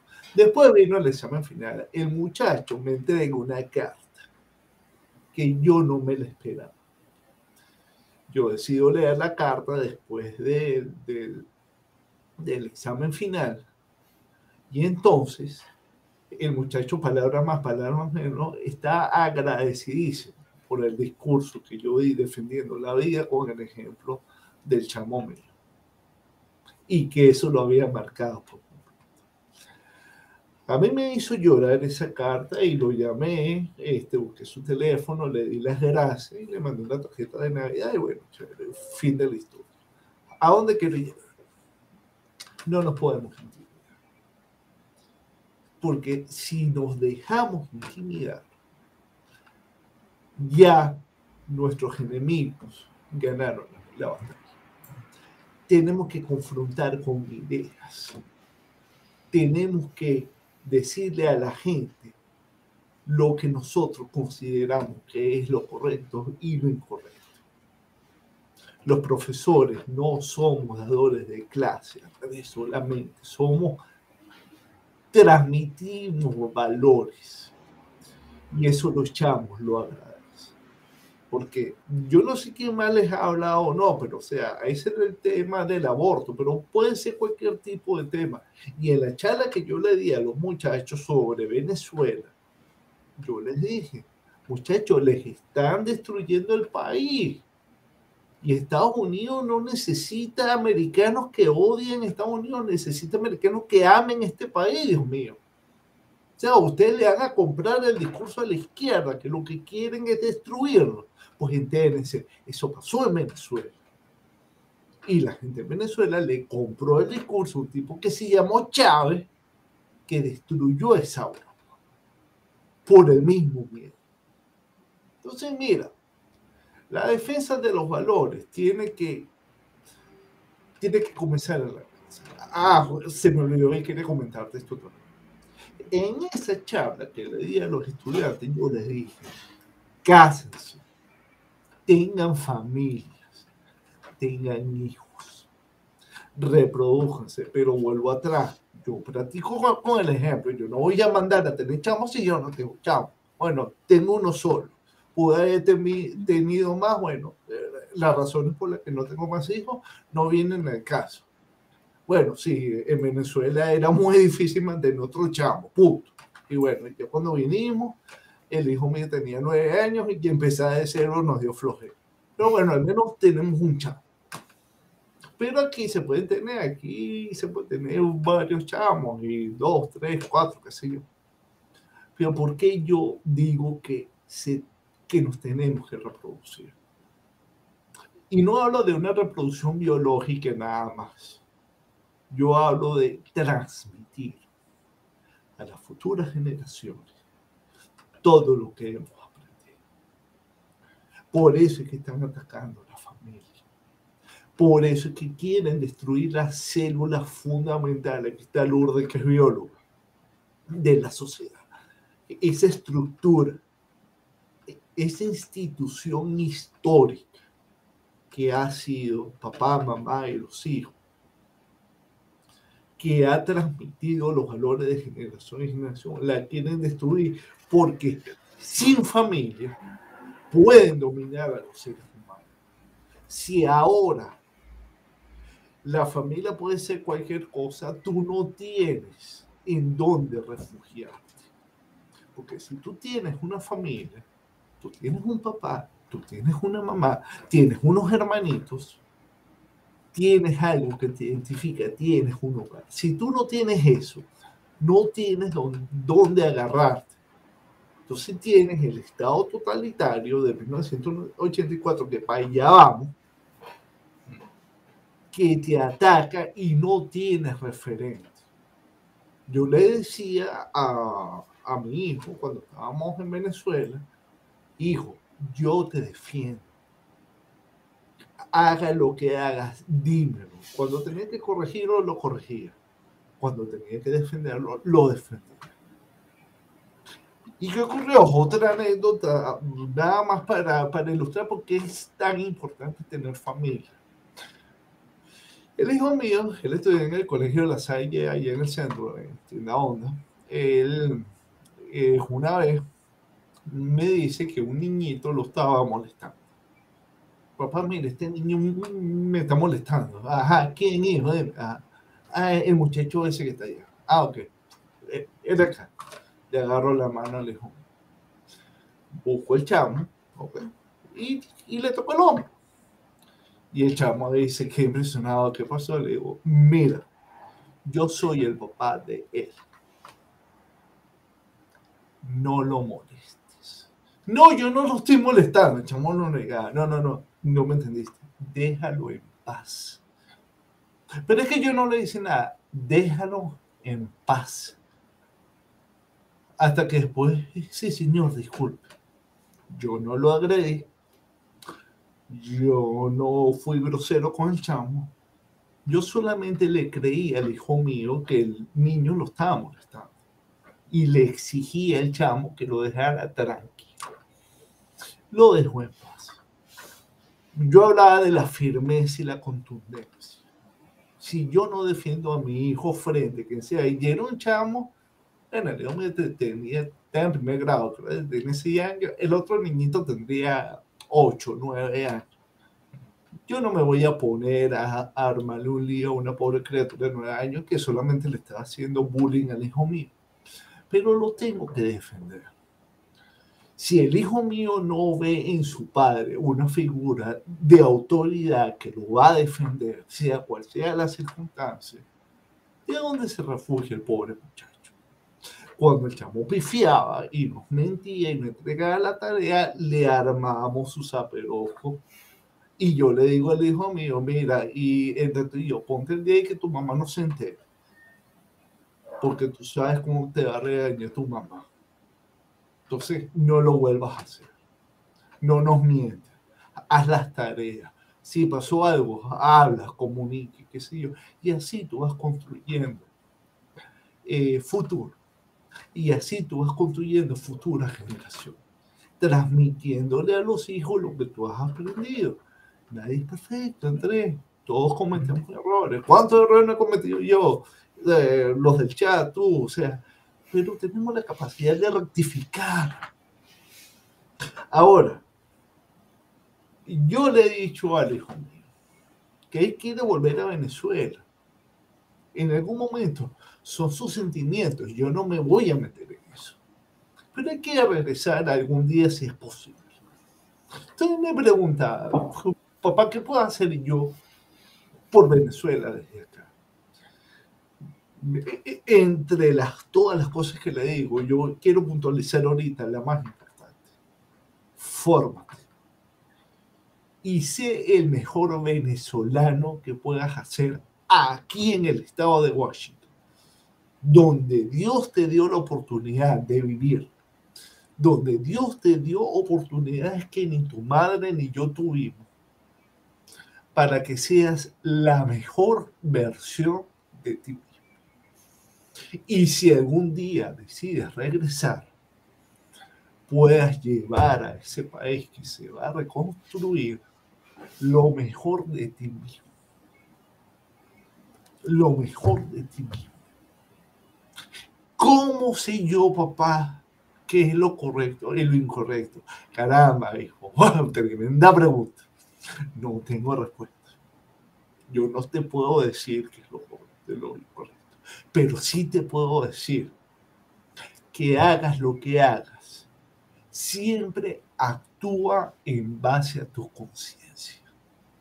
Si en el último momento Dios te da la iluminación, y, esa voz interna tuya te dice, detente, hazlo.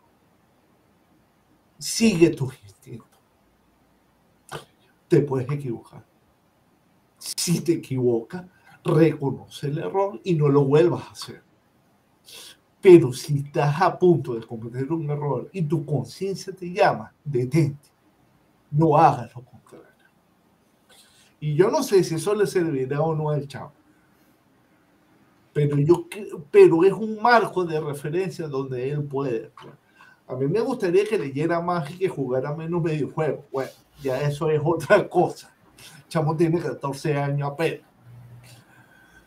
Pero yo sí creo que las familias, Andrés, son esas células básicas que generan estos valores que estamos discutiendo. Y eso lo quieren destruir con todo este relativismo de valores o de antivalores y este arroz mango que se está gestando de todos lados.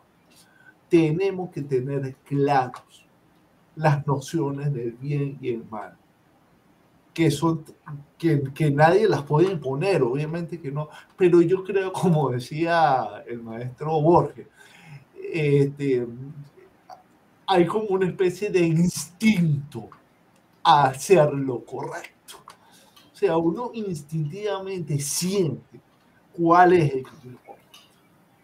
Y quiero aludir a Antonio Machado, que en su bello poema de Proverbio y Cantar, que decía en repetir lo que sabes, en, preguntar lo que sabes, el tiempo no has de perder. Y a preguntas y respuestas, ¿quién te podrá responder? Volvemos a lo mismo. lo dije en el directo pasado, pero lo quiero volver a decir. El éxito es la consecuencia de hacer las cosas bien.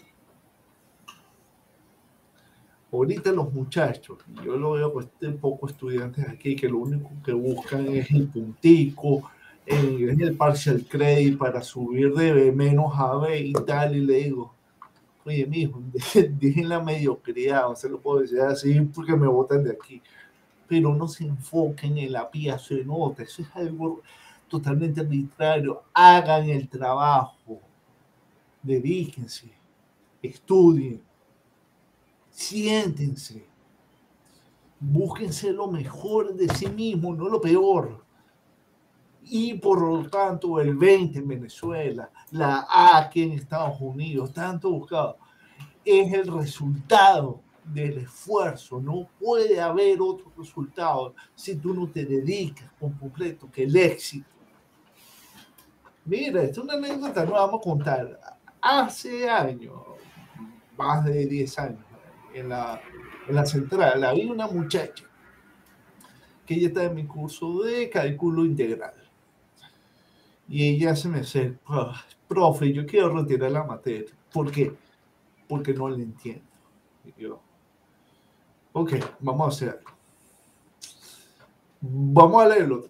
Entonces, a mí me deja entrar en la biblioteca, entro con la chama y le digo, mira, agarra este libro. Era un problemario de integrales, todas súper difíciles. La vas a hacer todas. Pero es que no puedo. Si puedes. Cuando te tranques, me mandas un correo y yo te bueno, y la chama empezó a mandarme los correos. Los primeros, un desastre. No veo, lo sea, así, así, así. Y yo veía como gradualmente la chama iba mejorando sus técnicas en integración. Por alguna razón que ahorita no me acuerdo, no pudo presentar el examen final, iba a presentarlo en mi oficina. Bueno, le he puesto un examen de un nivel de complejidad superior al promedio. El examen lo hizo perfecto. Perfecto. Cuando yo le correjo y le digo, mira, tienes 20, la chama se pone y me dice, profe, gracias por darme Yo hice dos resmas de papel de las integrales que usted me Y yo le dije, si no las hubieses hecho, si yo no hubiese visto tus correos electrónicos, yo no te pongo ese examen pero tú decidiste aprender. Y el chama estudiaba biología, así que estudiaba matemáticas. Pero, la, pero nada más con darle el, el espaldarazo al estudiante y decirle, si puedes ir, es el miedo, como dice mi papá, deja el culillo y ponte a darle, la chama lo logró. Pero mira, conseguir ese tipo de personas que crean en sí mismos eh, no es sencillo. Ahora, tú tienes que transmitirle seguridad. ¿Cómo le transmitía el hijo mío cuando el chamo le está haciendo un bullying? ¿Cómo le transmitía la chama? No, sí puede. Y esas son una de las experiencias hermosas que tengo como profesor. Pero, ¿Se, dan, cuenta ustedes que nos están viendo, perdón que te interrumpa? Porque yo siempre digo que Tomás es un maestro y no es un profesor. Ahí está la cuestión.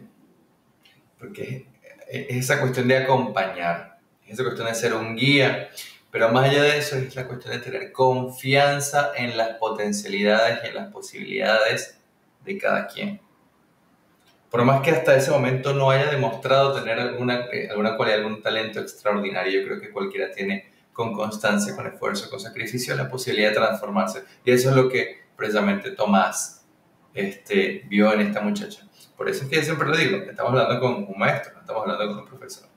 Es por eso que tienen que empezar a decirle maestro guardia y no profesor guardia. Por favor, cuídense mucho, pile con lo que estoy diciendo. Pero bueno, pero, pero bueno. Gracias, gracias. Y también estoy leyendo el chat y que también dan las gracias. Miren, Lourdes, que, que creo que debe estar aquí, me decía una vez que me, que me contrataron unas horitas allá en, en el cafetal, ¿cómo que se llama? Eh, en el Instituto Cumbre. Lourdes era profesora de biología y yo, ella me llevó para allá para dar una asesoría de matemáticas, al final no funcionó. Pero eh, almorzando con Lourdes, ella me, ella me decía, pero es que tu esposa no sabe que tú lo único que haces es echar cuentos de ella y de tu hijo. Bueno, debería saberlo, creo yo. Pero yo le digo al hijo mío también, y se lo digo a todos los estudiantes, se lo digo a ti y a la audiencia, no puedes dar nada distinto de lo que tú eres. Yo aquí estoy sentado hablando de las cosas que yo firmemente creo, con convicción, con determinación y con la mayor sinceridad yo puedo estar equivocado, yo no creo tener la verdad absoluta, jamás la tendré. Pero son los valores que yo transmito a mi hijo, a mi esposa, a mis estudiantes y a mis amigos. Y a Andrés, que más que un amigo lo considero un hermano del alma, porque compartimos muchas cosas. Mira, tenemos que dejar el miedo y tenemos que estar conscientes de quiénes son nuestros enemigos. Nuestros enemigos son la gente que odia la libertad. Por eso es que está, por eso es que convirtieron Venezuela en el desastre que la convirtieron. Y por eso es que están atacando acá y a toda la civilización occidental para destruir lo más hermoso que tenemos. No lo permitimos. ¿Cómo? Uniéndonos en familia, teniendo hijos y transmitiendo todos los valores a las futuras generaciones. Yo no creo que exista mejor arma que eso. Yo creo que si hacemos eso, ganamos la batalla. Pero no hay que tener miedo. Mi esposa a veces, yo le entiendo, y me dice, tú no tienes la capacidad de salvar el mundo. Eh, es que yo no pretendo salvar el mundo. Pero si yo puedo incidir de la manera en que yo creo que positivamente puedo incidir, en el pequeño entorno donde yo tengo una influencia real y efectiva, yo lo voy a hacer. Por eso es que al final de cada semestre yo le doy la bendita charla a los estudiantes historias de, Venezuela y les hablo de mm. la libertad, del comunismo, de Chávez, de Maduro, de Pérez Jiménez, del otro y del otro, y le estoy diciendo, no compren ese discurso. Y en la parte de los valores le digo, cásense, tengan chavo, tengan familia, ahí es donde nos quieren atacar. No lo permitan. Transmitan sus valores y los de su pareja a las futuras generaciones. Y si quieren preservar este país como lo conocen, nunca voten por la izquierda y entiendan que la izquierda son enemigos de la libertad. Si ustedes quieren un país que no sea eh, los Estados Unidos que ustedes conocen, escuchen las historias de los inmigrantes como yo, que tuvimos un país que ahora defendemos. Lo ya retomo porque se me fue el hilo. No, no, está bien. Que, que, que, mi esposa me dice, no, tú no vas a salvar. Mira, yo no sé que voy a salvar nada. Pero yo sí te digo una cosa. Yo no tuve la oportunidad. Y vaya que yo fui a muchas protestas en Venezuela. Y vaya que yo me resté para evitar que los chavos le tiraran bomba a la crimona y todas esas cosas. Pero en Venezuela no tuvimos el coraje socialmente para defender lo que íbamos a defender. Si Estados Unidos cae en manos del comunismo, se acabó la libertad, señor. Ahora, la gran diferencia que hay acá en Venezuela es que en Venezuela estábamos desarmados y aquí la población está armada. Y yo se lo digo a los estudiantes. Ustedes tienen su segunda enmienda en la Constitución. Usen de ser necesario. Y ahora, yo prefiero dar la pelea a Andrés peleando porque si esto cae en manos del comunismo, ¿a dónde vamos a ir?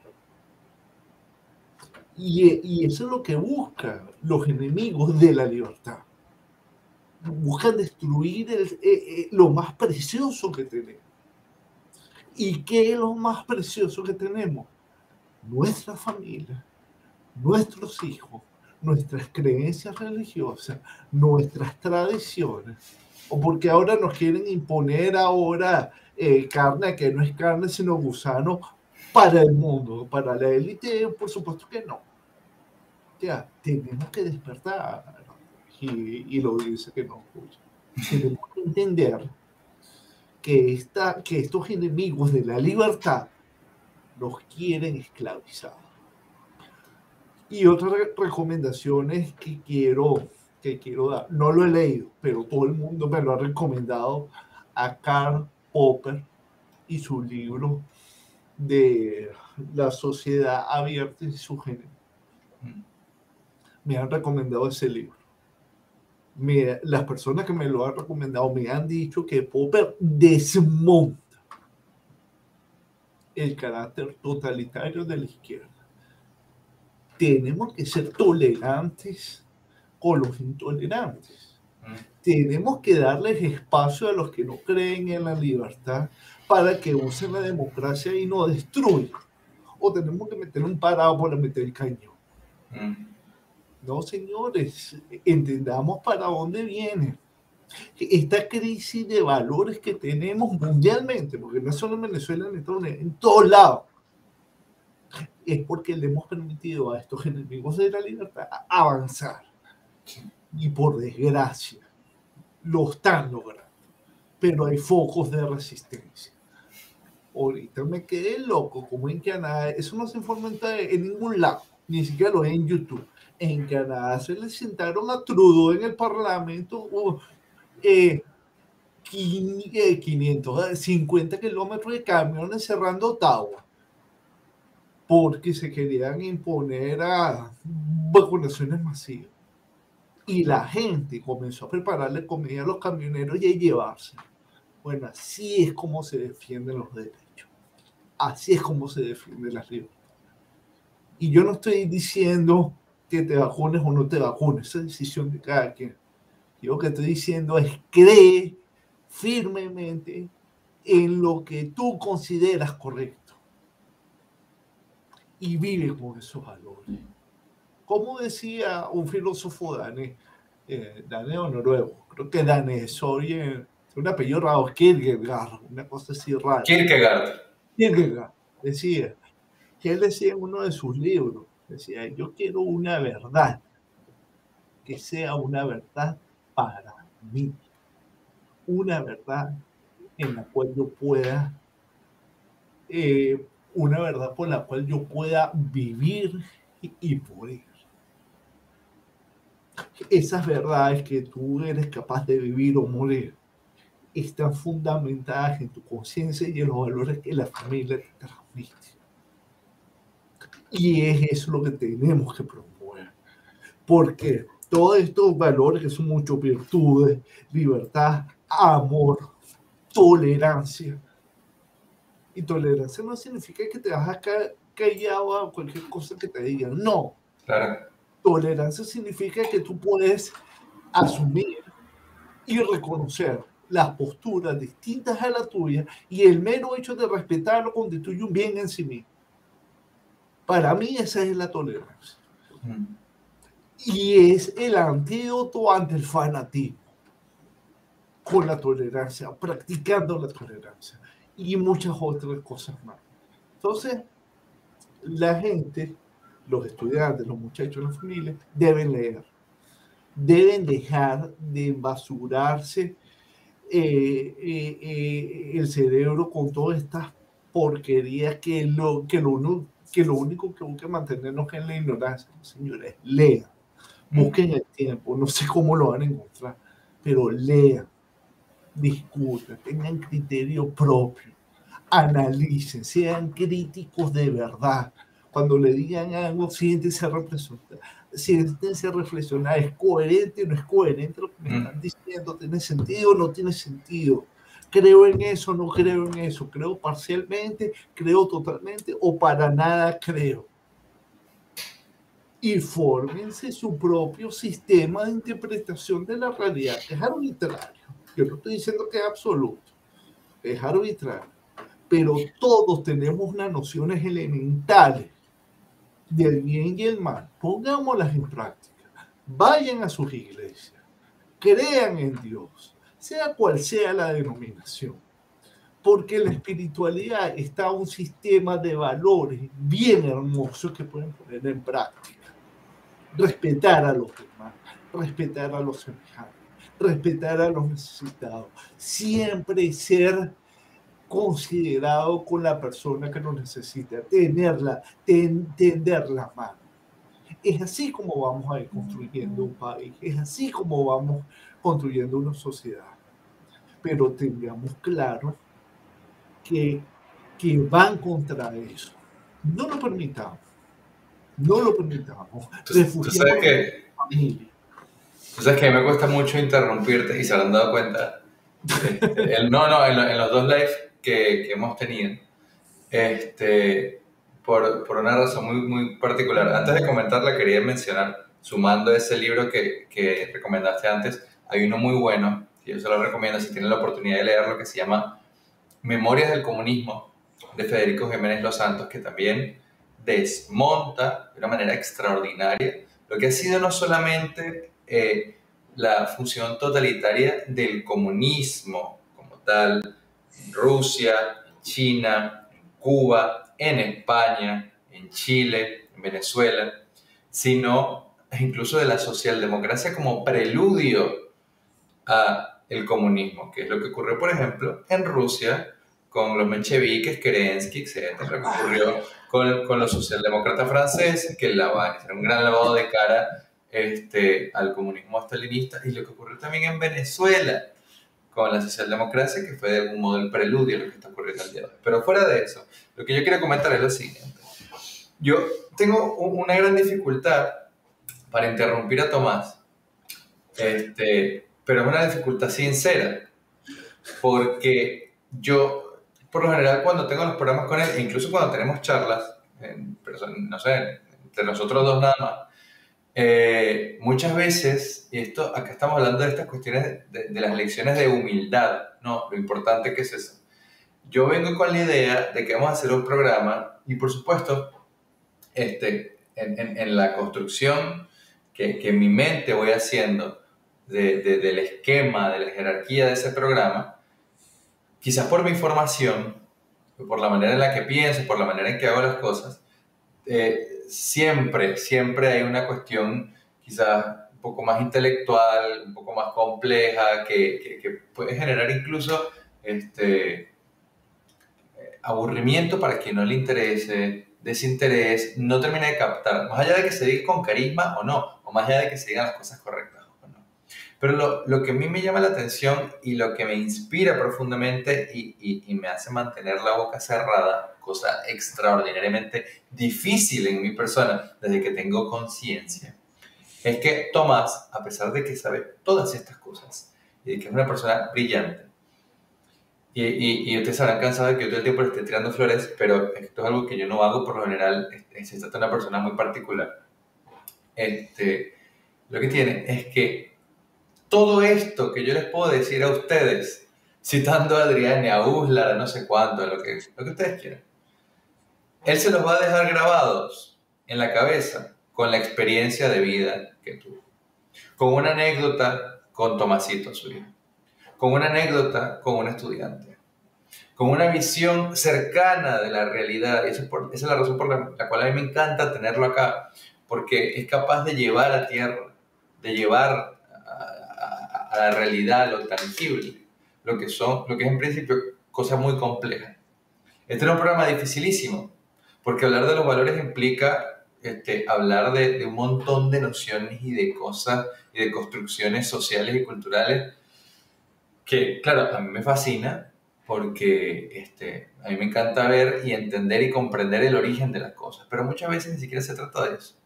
Muchas veces se trata de lo que él muy inteligentemente y con ahínco y, con voluntad dijo. Simplemente defender lo que es correcto, porque nosotros tenemos una inclinación, una intuición que nos permite saber qué es lo correcto. Y para aquellos que no hacen lo correcto, eh, también existe esa intuición de saber que no están haciendo lo correcto. Lo saben. Saben que lo que hacen es vicioso, no es virtuoso, es malo, hace daño. Lo hacen igual. Eso es lo que los convierte en el epítome, en la representación, en la encarnación del antivalor, ¿no? Eh, pero decir, resumir todo esto este, y perdón que te haya interrumpido, pero también tenemos que ir cerrando y nos van, seguro nos tienen que hacer dos o tres preguntas porque hay que tenemos que responder. porque si no, nuestros likes son de 10 horas seguidas. Este, sí. Este, sí, como una película experimental, no sé, Sefirelli o alguna cosa de esa. Este, sí.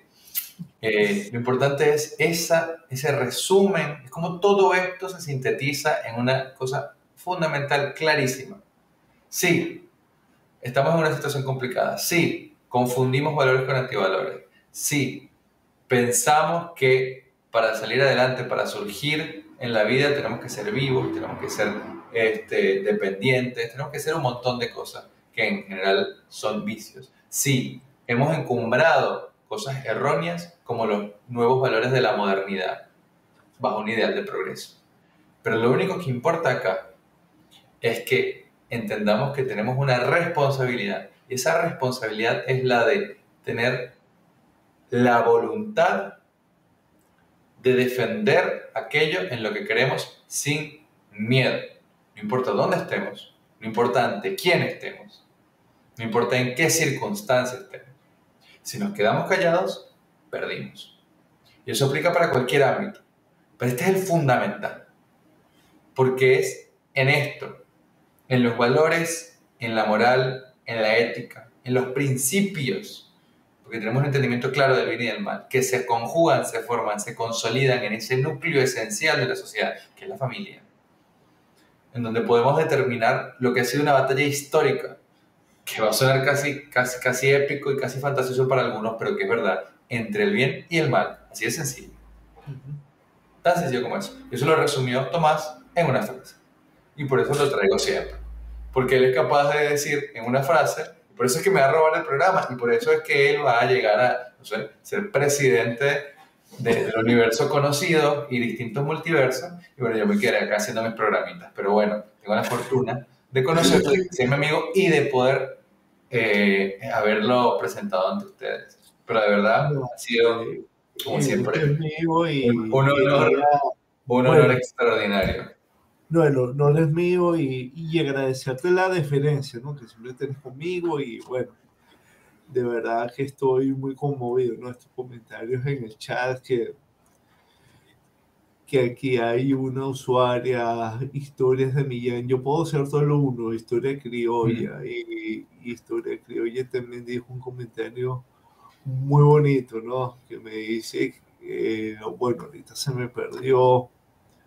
Me hubiese Eh, gustado haber sido no, me hubiese gustado ser solo uno. Bueno, miren. Eh, gracias.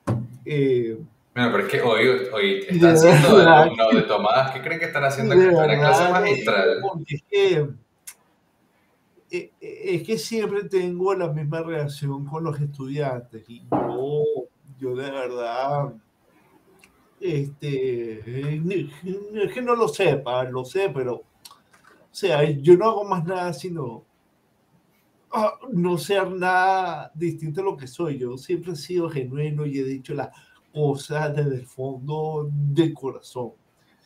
Mira, em, yo creo que, que es importante seguir reflexionando sobre estas cosas, seguir construyendo país, seguir hablando y seguir despertando en los jóvenes esa inquietud por hacer las cosas bien, por defender lo que queramos y,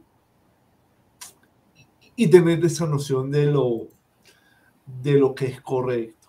Ajá, ya, ya me acordé. Fíjate que una de las cosas que yo, que yo siempre les digo a- al hijo mío, a mi esposa y a los estudiantes es que, es que en la vida siempre hay dos caminos. Existe el camino fácil, que es el camino de la mentira, que es el camino de la trampa, que es el camino de la deshonestidad, y en general es el camino de lo incorrecto, que es el camino más rápido, pero es el más peligroso.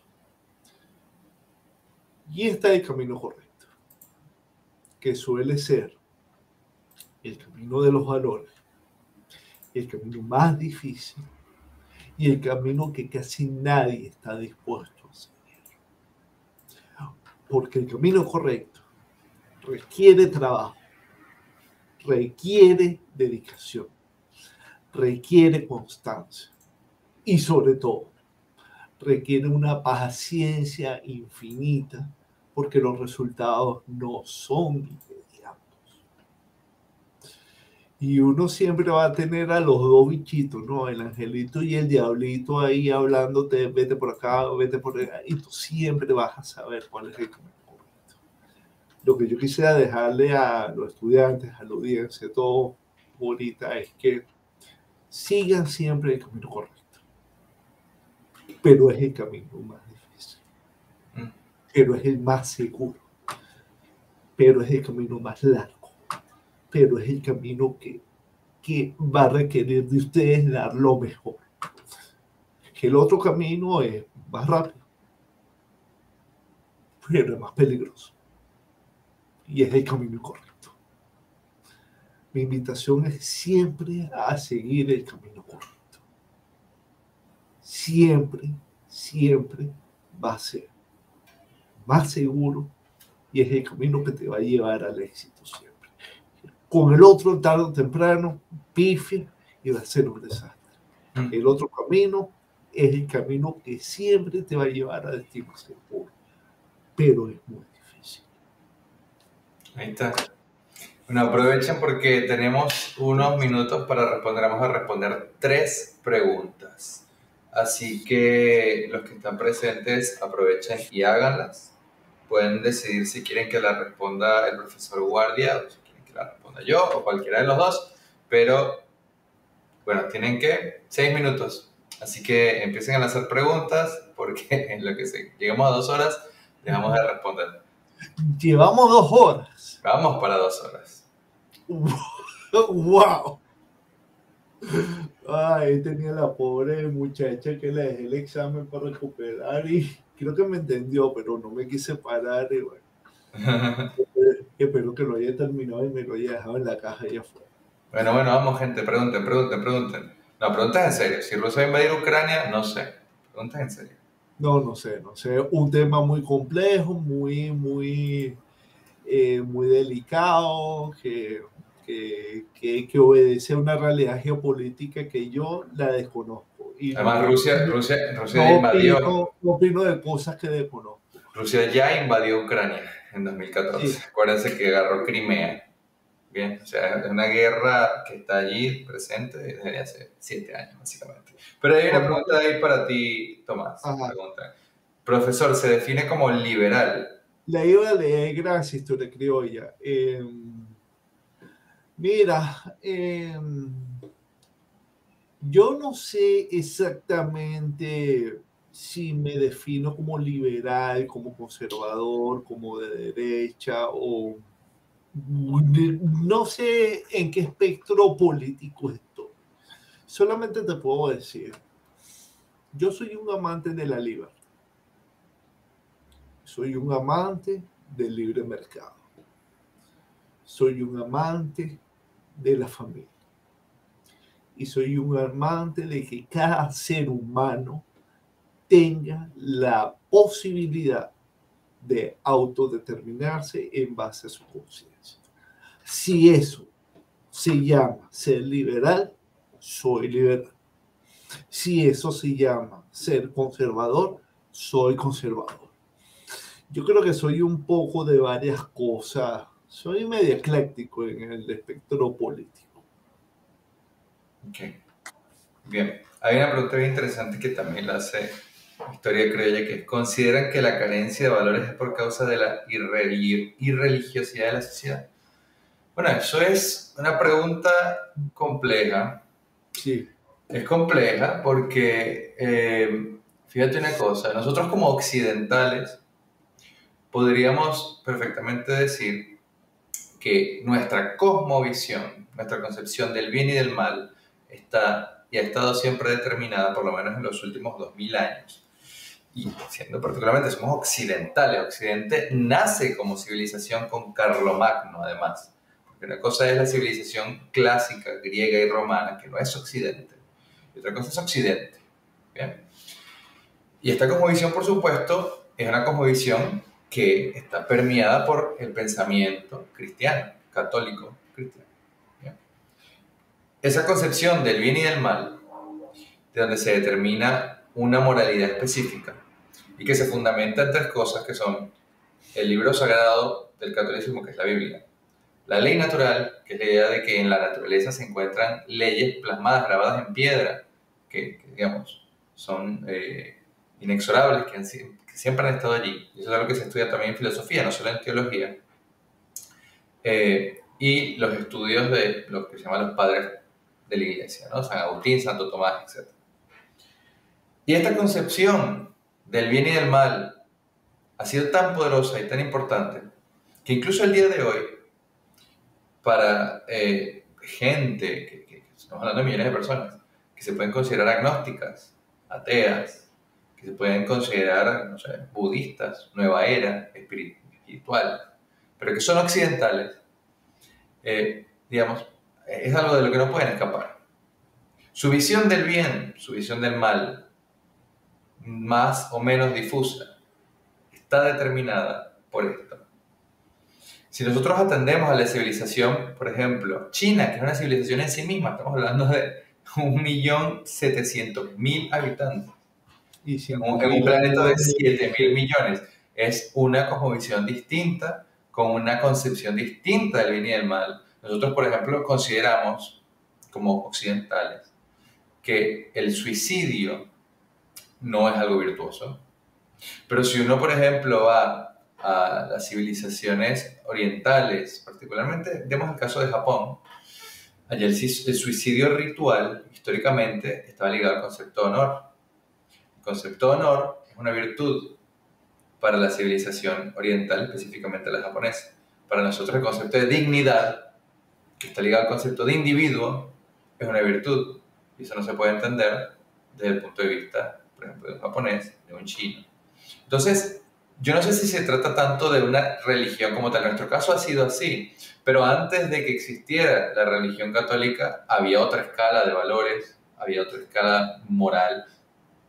Creo firmemente que, que siempre ha habido una tendencia natural, porque he hablado de la ley natural, eh, que nos permite entender a todos, no simplemente como occidentales, orientales o lo que sea, que hay cosas que se deben hacer y cosas que no se deben hacer.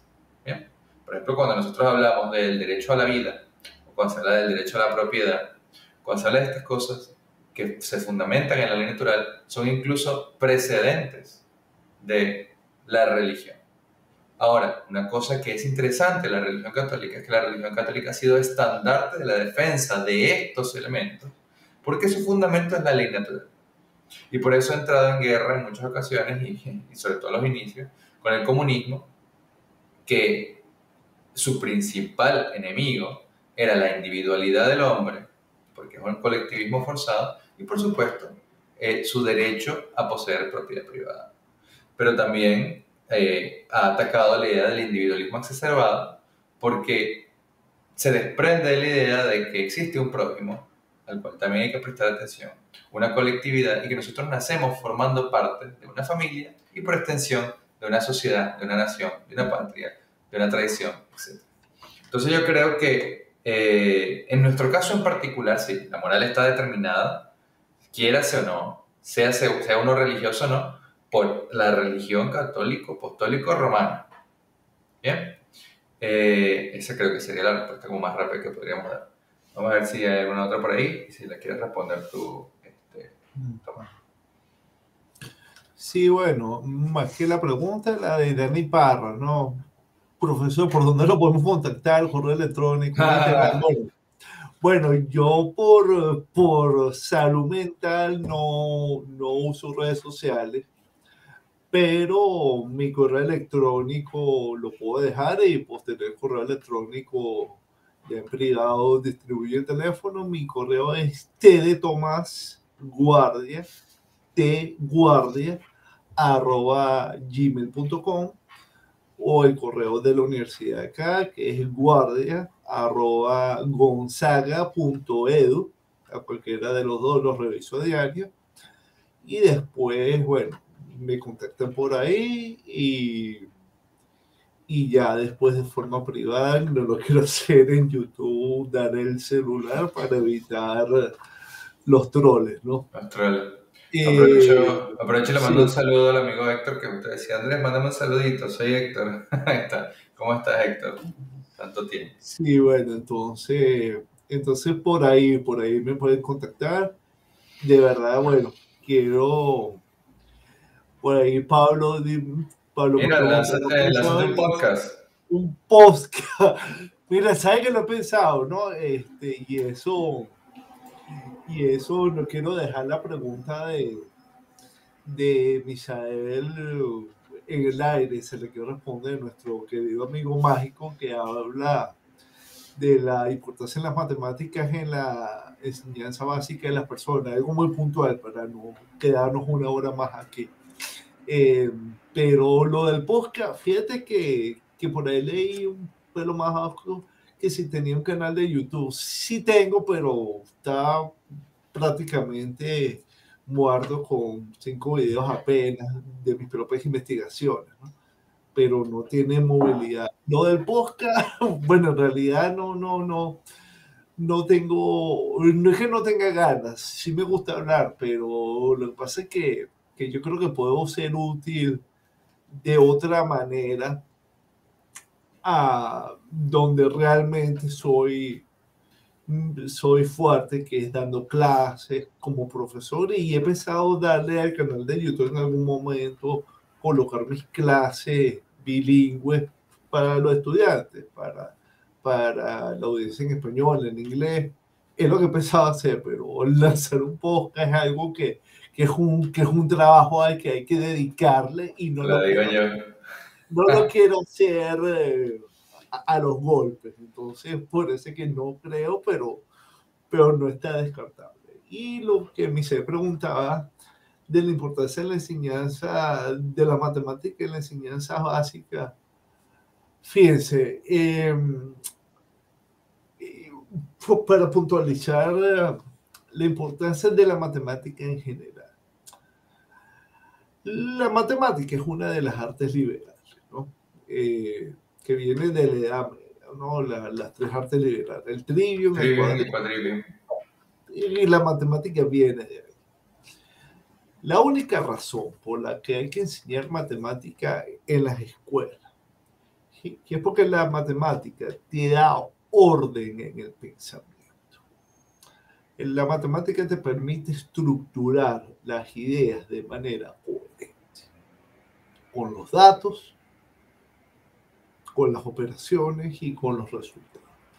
Desde el problemita sencillo, si Juanito tenía ocho metricas y le regala cinco a Pedrito, ¿cuántas le quedan a Juanito? Le quedan tres. Bueno, desde lo más elemental hasta lo más complejo, que puede ser la integral esta que esta niña Génesis se llamaba ese estudiante, la que sacó 20, que estructurar el pensamiento a través de la lógica. Y que tú puedas utilizar ese, esas argumentaciones, datos, operaciones de respuesta para resolver problemas en la vida cotidiana, ya eso le da importancia a las matemáticas sí Más allá de la abstracción, que es los sistemas numéricos y todas esas cosas, la matemática te permite tener coherencia en el pensamiento. Cuando se te viene un problema real, ¿cómo lo abordo? cómo pongo en orden las ideas, qué hago y cuál es la solución. Nada más esa es la importancia. Nada más que decir. Pero bueno. ya nos pasamos de la hora, estamos en dos horas seis. Nos es imposible, Tomás, mantener una charla medianamente corta, pero bueno, las buenas charlas son así, las buenas tertulias son así, y agradecemos como siempre a todos los que de verdad se tomaron la molestia de quedarse acá las dos horas, se mantuvo estable, no, no fuimos tantos, pero se mantuvo estable, fueron siempre más o menos los mismos. un pequeñito corte hace como hora y media, pero no dije nada porque volviste 10 segundos después, pero... pero Yo ni cuenta me doy, eso que acabo de poner el internet nuevo, la verdad que... Bueno, cuando ves el video te vas a dar cuenta, y mira historia criolla eh, le quiero te cuesta la matemática, bueno, bienvenida. Mándame un correo, intercambiamos teléfono y yo te echo una mano. Pero, buenísimo. Pero hay que cerrar esto. Sí. Y Andrés se quiere ir. Bueno, miren, yo me despido, mis muchachos, como le digo cariñosamente a mis estudiantes, eh, tanto acá en Estados Unidos como en Venezuela, mis queridos estudiantes, que tantos quiero, de la comunidad universitaria ustedes los estudiantes han sido con, con los que mejores, con lo, con lo que mejor me he llevado siempre. Ese entusiasmo, esas ganas de la juventud de aprender, ha sido lo que me mantiene a mí a la universidad. Muchísimas gracias por estar aquí. Les agradezco una vez más a Andrés. Y bueno, y si Andrés eh, está dispuesto, que me menos que sí, en cualquier momento estaré por aquí otra vez con ustedes con, otros temas. Un abrazo para todos. yo escucho. Gracias, Tomás, por estar acá como siempre. Gracias a todos los que participaron, a los que hicieron sus preguntas, a los que se quedaron hasta el final. De verdad que yo sé que, bueno, es tiempo, el tiempo vale oro y hablamos de temas densos, complejos, que a veces, bueno, no todo el mundo le interesa, pero Realmente me pone muy contento que hayan estado presentes el día de hoy, sobre todo porque teníamos tiempo, son pocos meses, pero parece mucho más, sin, sin hacer estos lives. La promesa es que vamos a tratar de hacer por lo menos uno por semana. El jueves, recuerden, vamos a estar acá presentes, Alejandro Andrade y yo, hablando sobre hispanismo, metodología o doctrina. Y ahí vamos a tratar uno de los grandes temas controversiales que, que están en boga en redes sociales, sobre todo en Twitter, que es esta especie de pelea entre independentistas, bolivarianistas, como se les quiere llamar, e hispanistas. Yo tengo una idea particular al respecto y Alejandro tiene una idea parecida. Así que vamos a derrumbar bastantes mitos. Va a estar bien interesante. Tomás, te espero ahí en la caja de comentarios, haciendo como siempre, dictando tu cátedra, respondiéndole a los muchachos que hacen sus preguntas. Y bueno, como siempre les digo, muchísimas gracias por estar. Los quiero mucho y nos vemos la próxima. Hasta chao, pronto. Chao.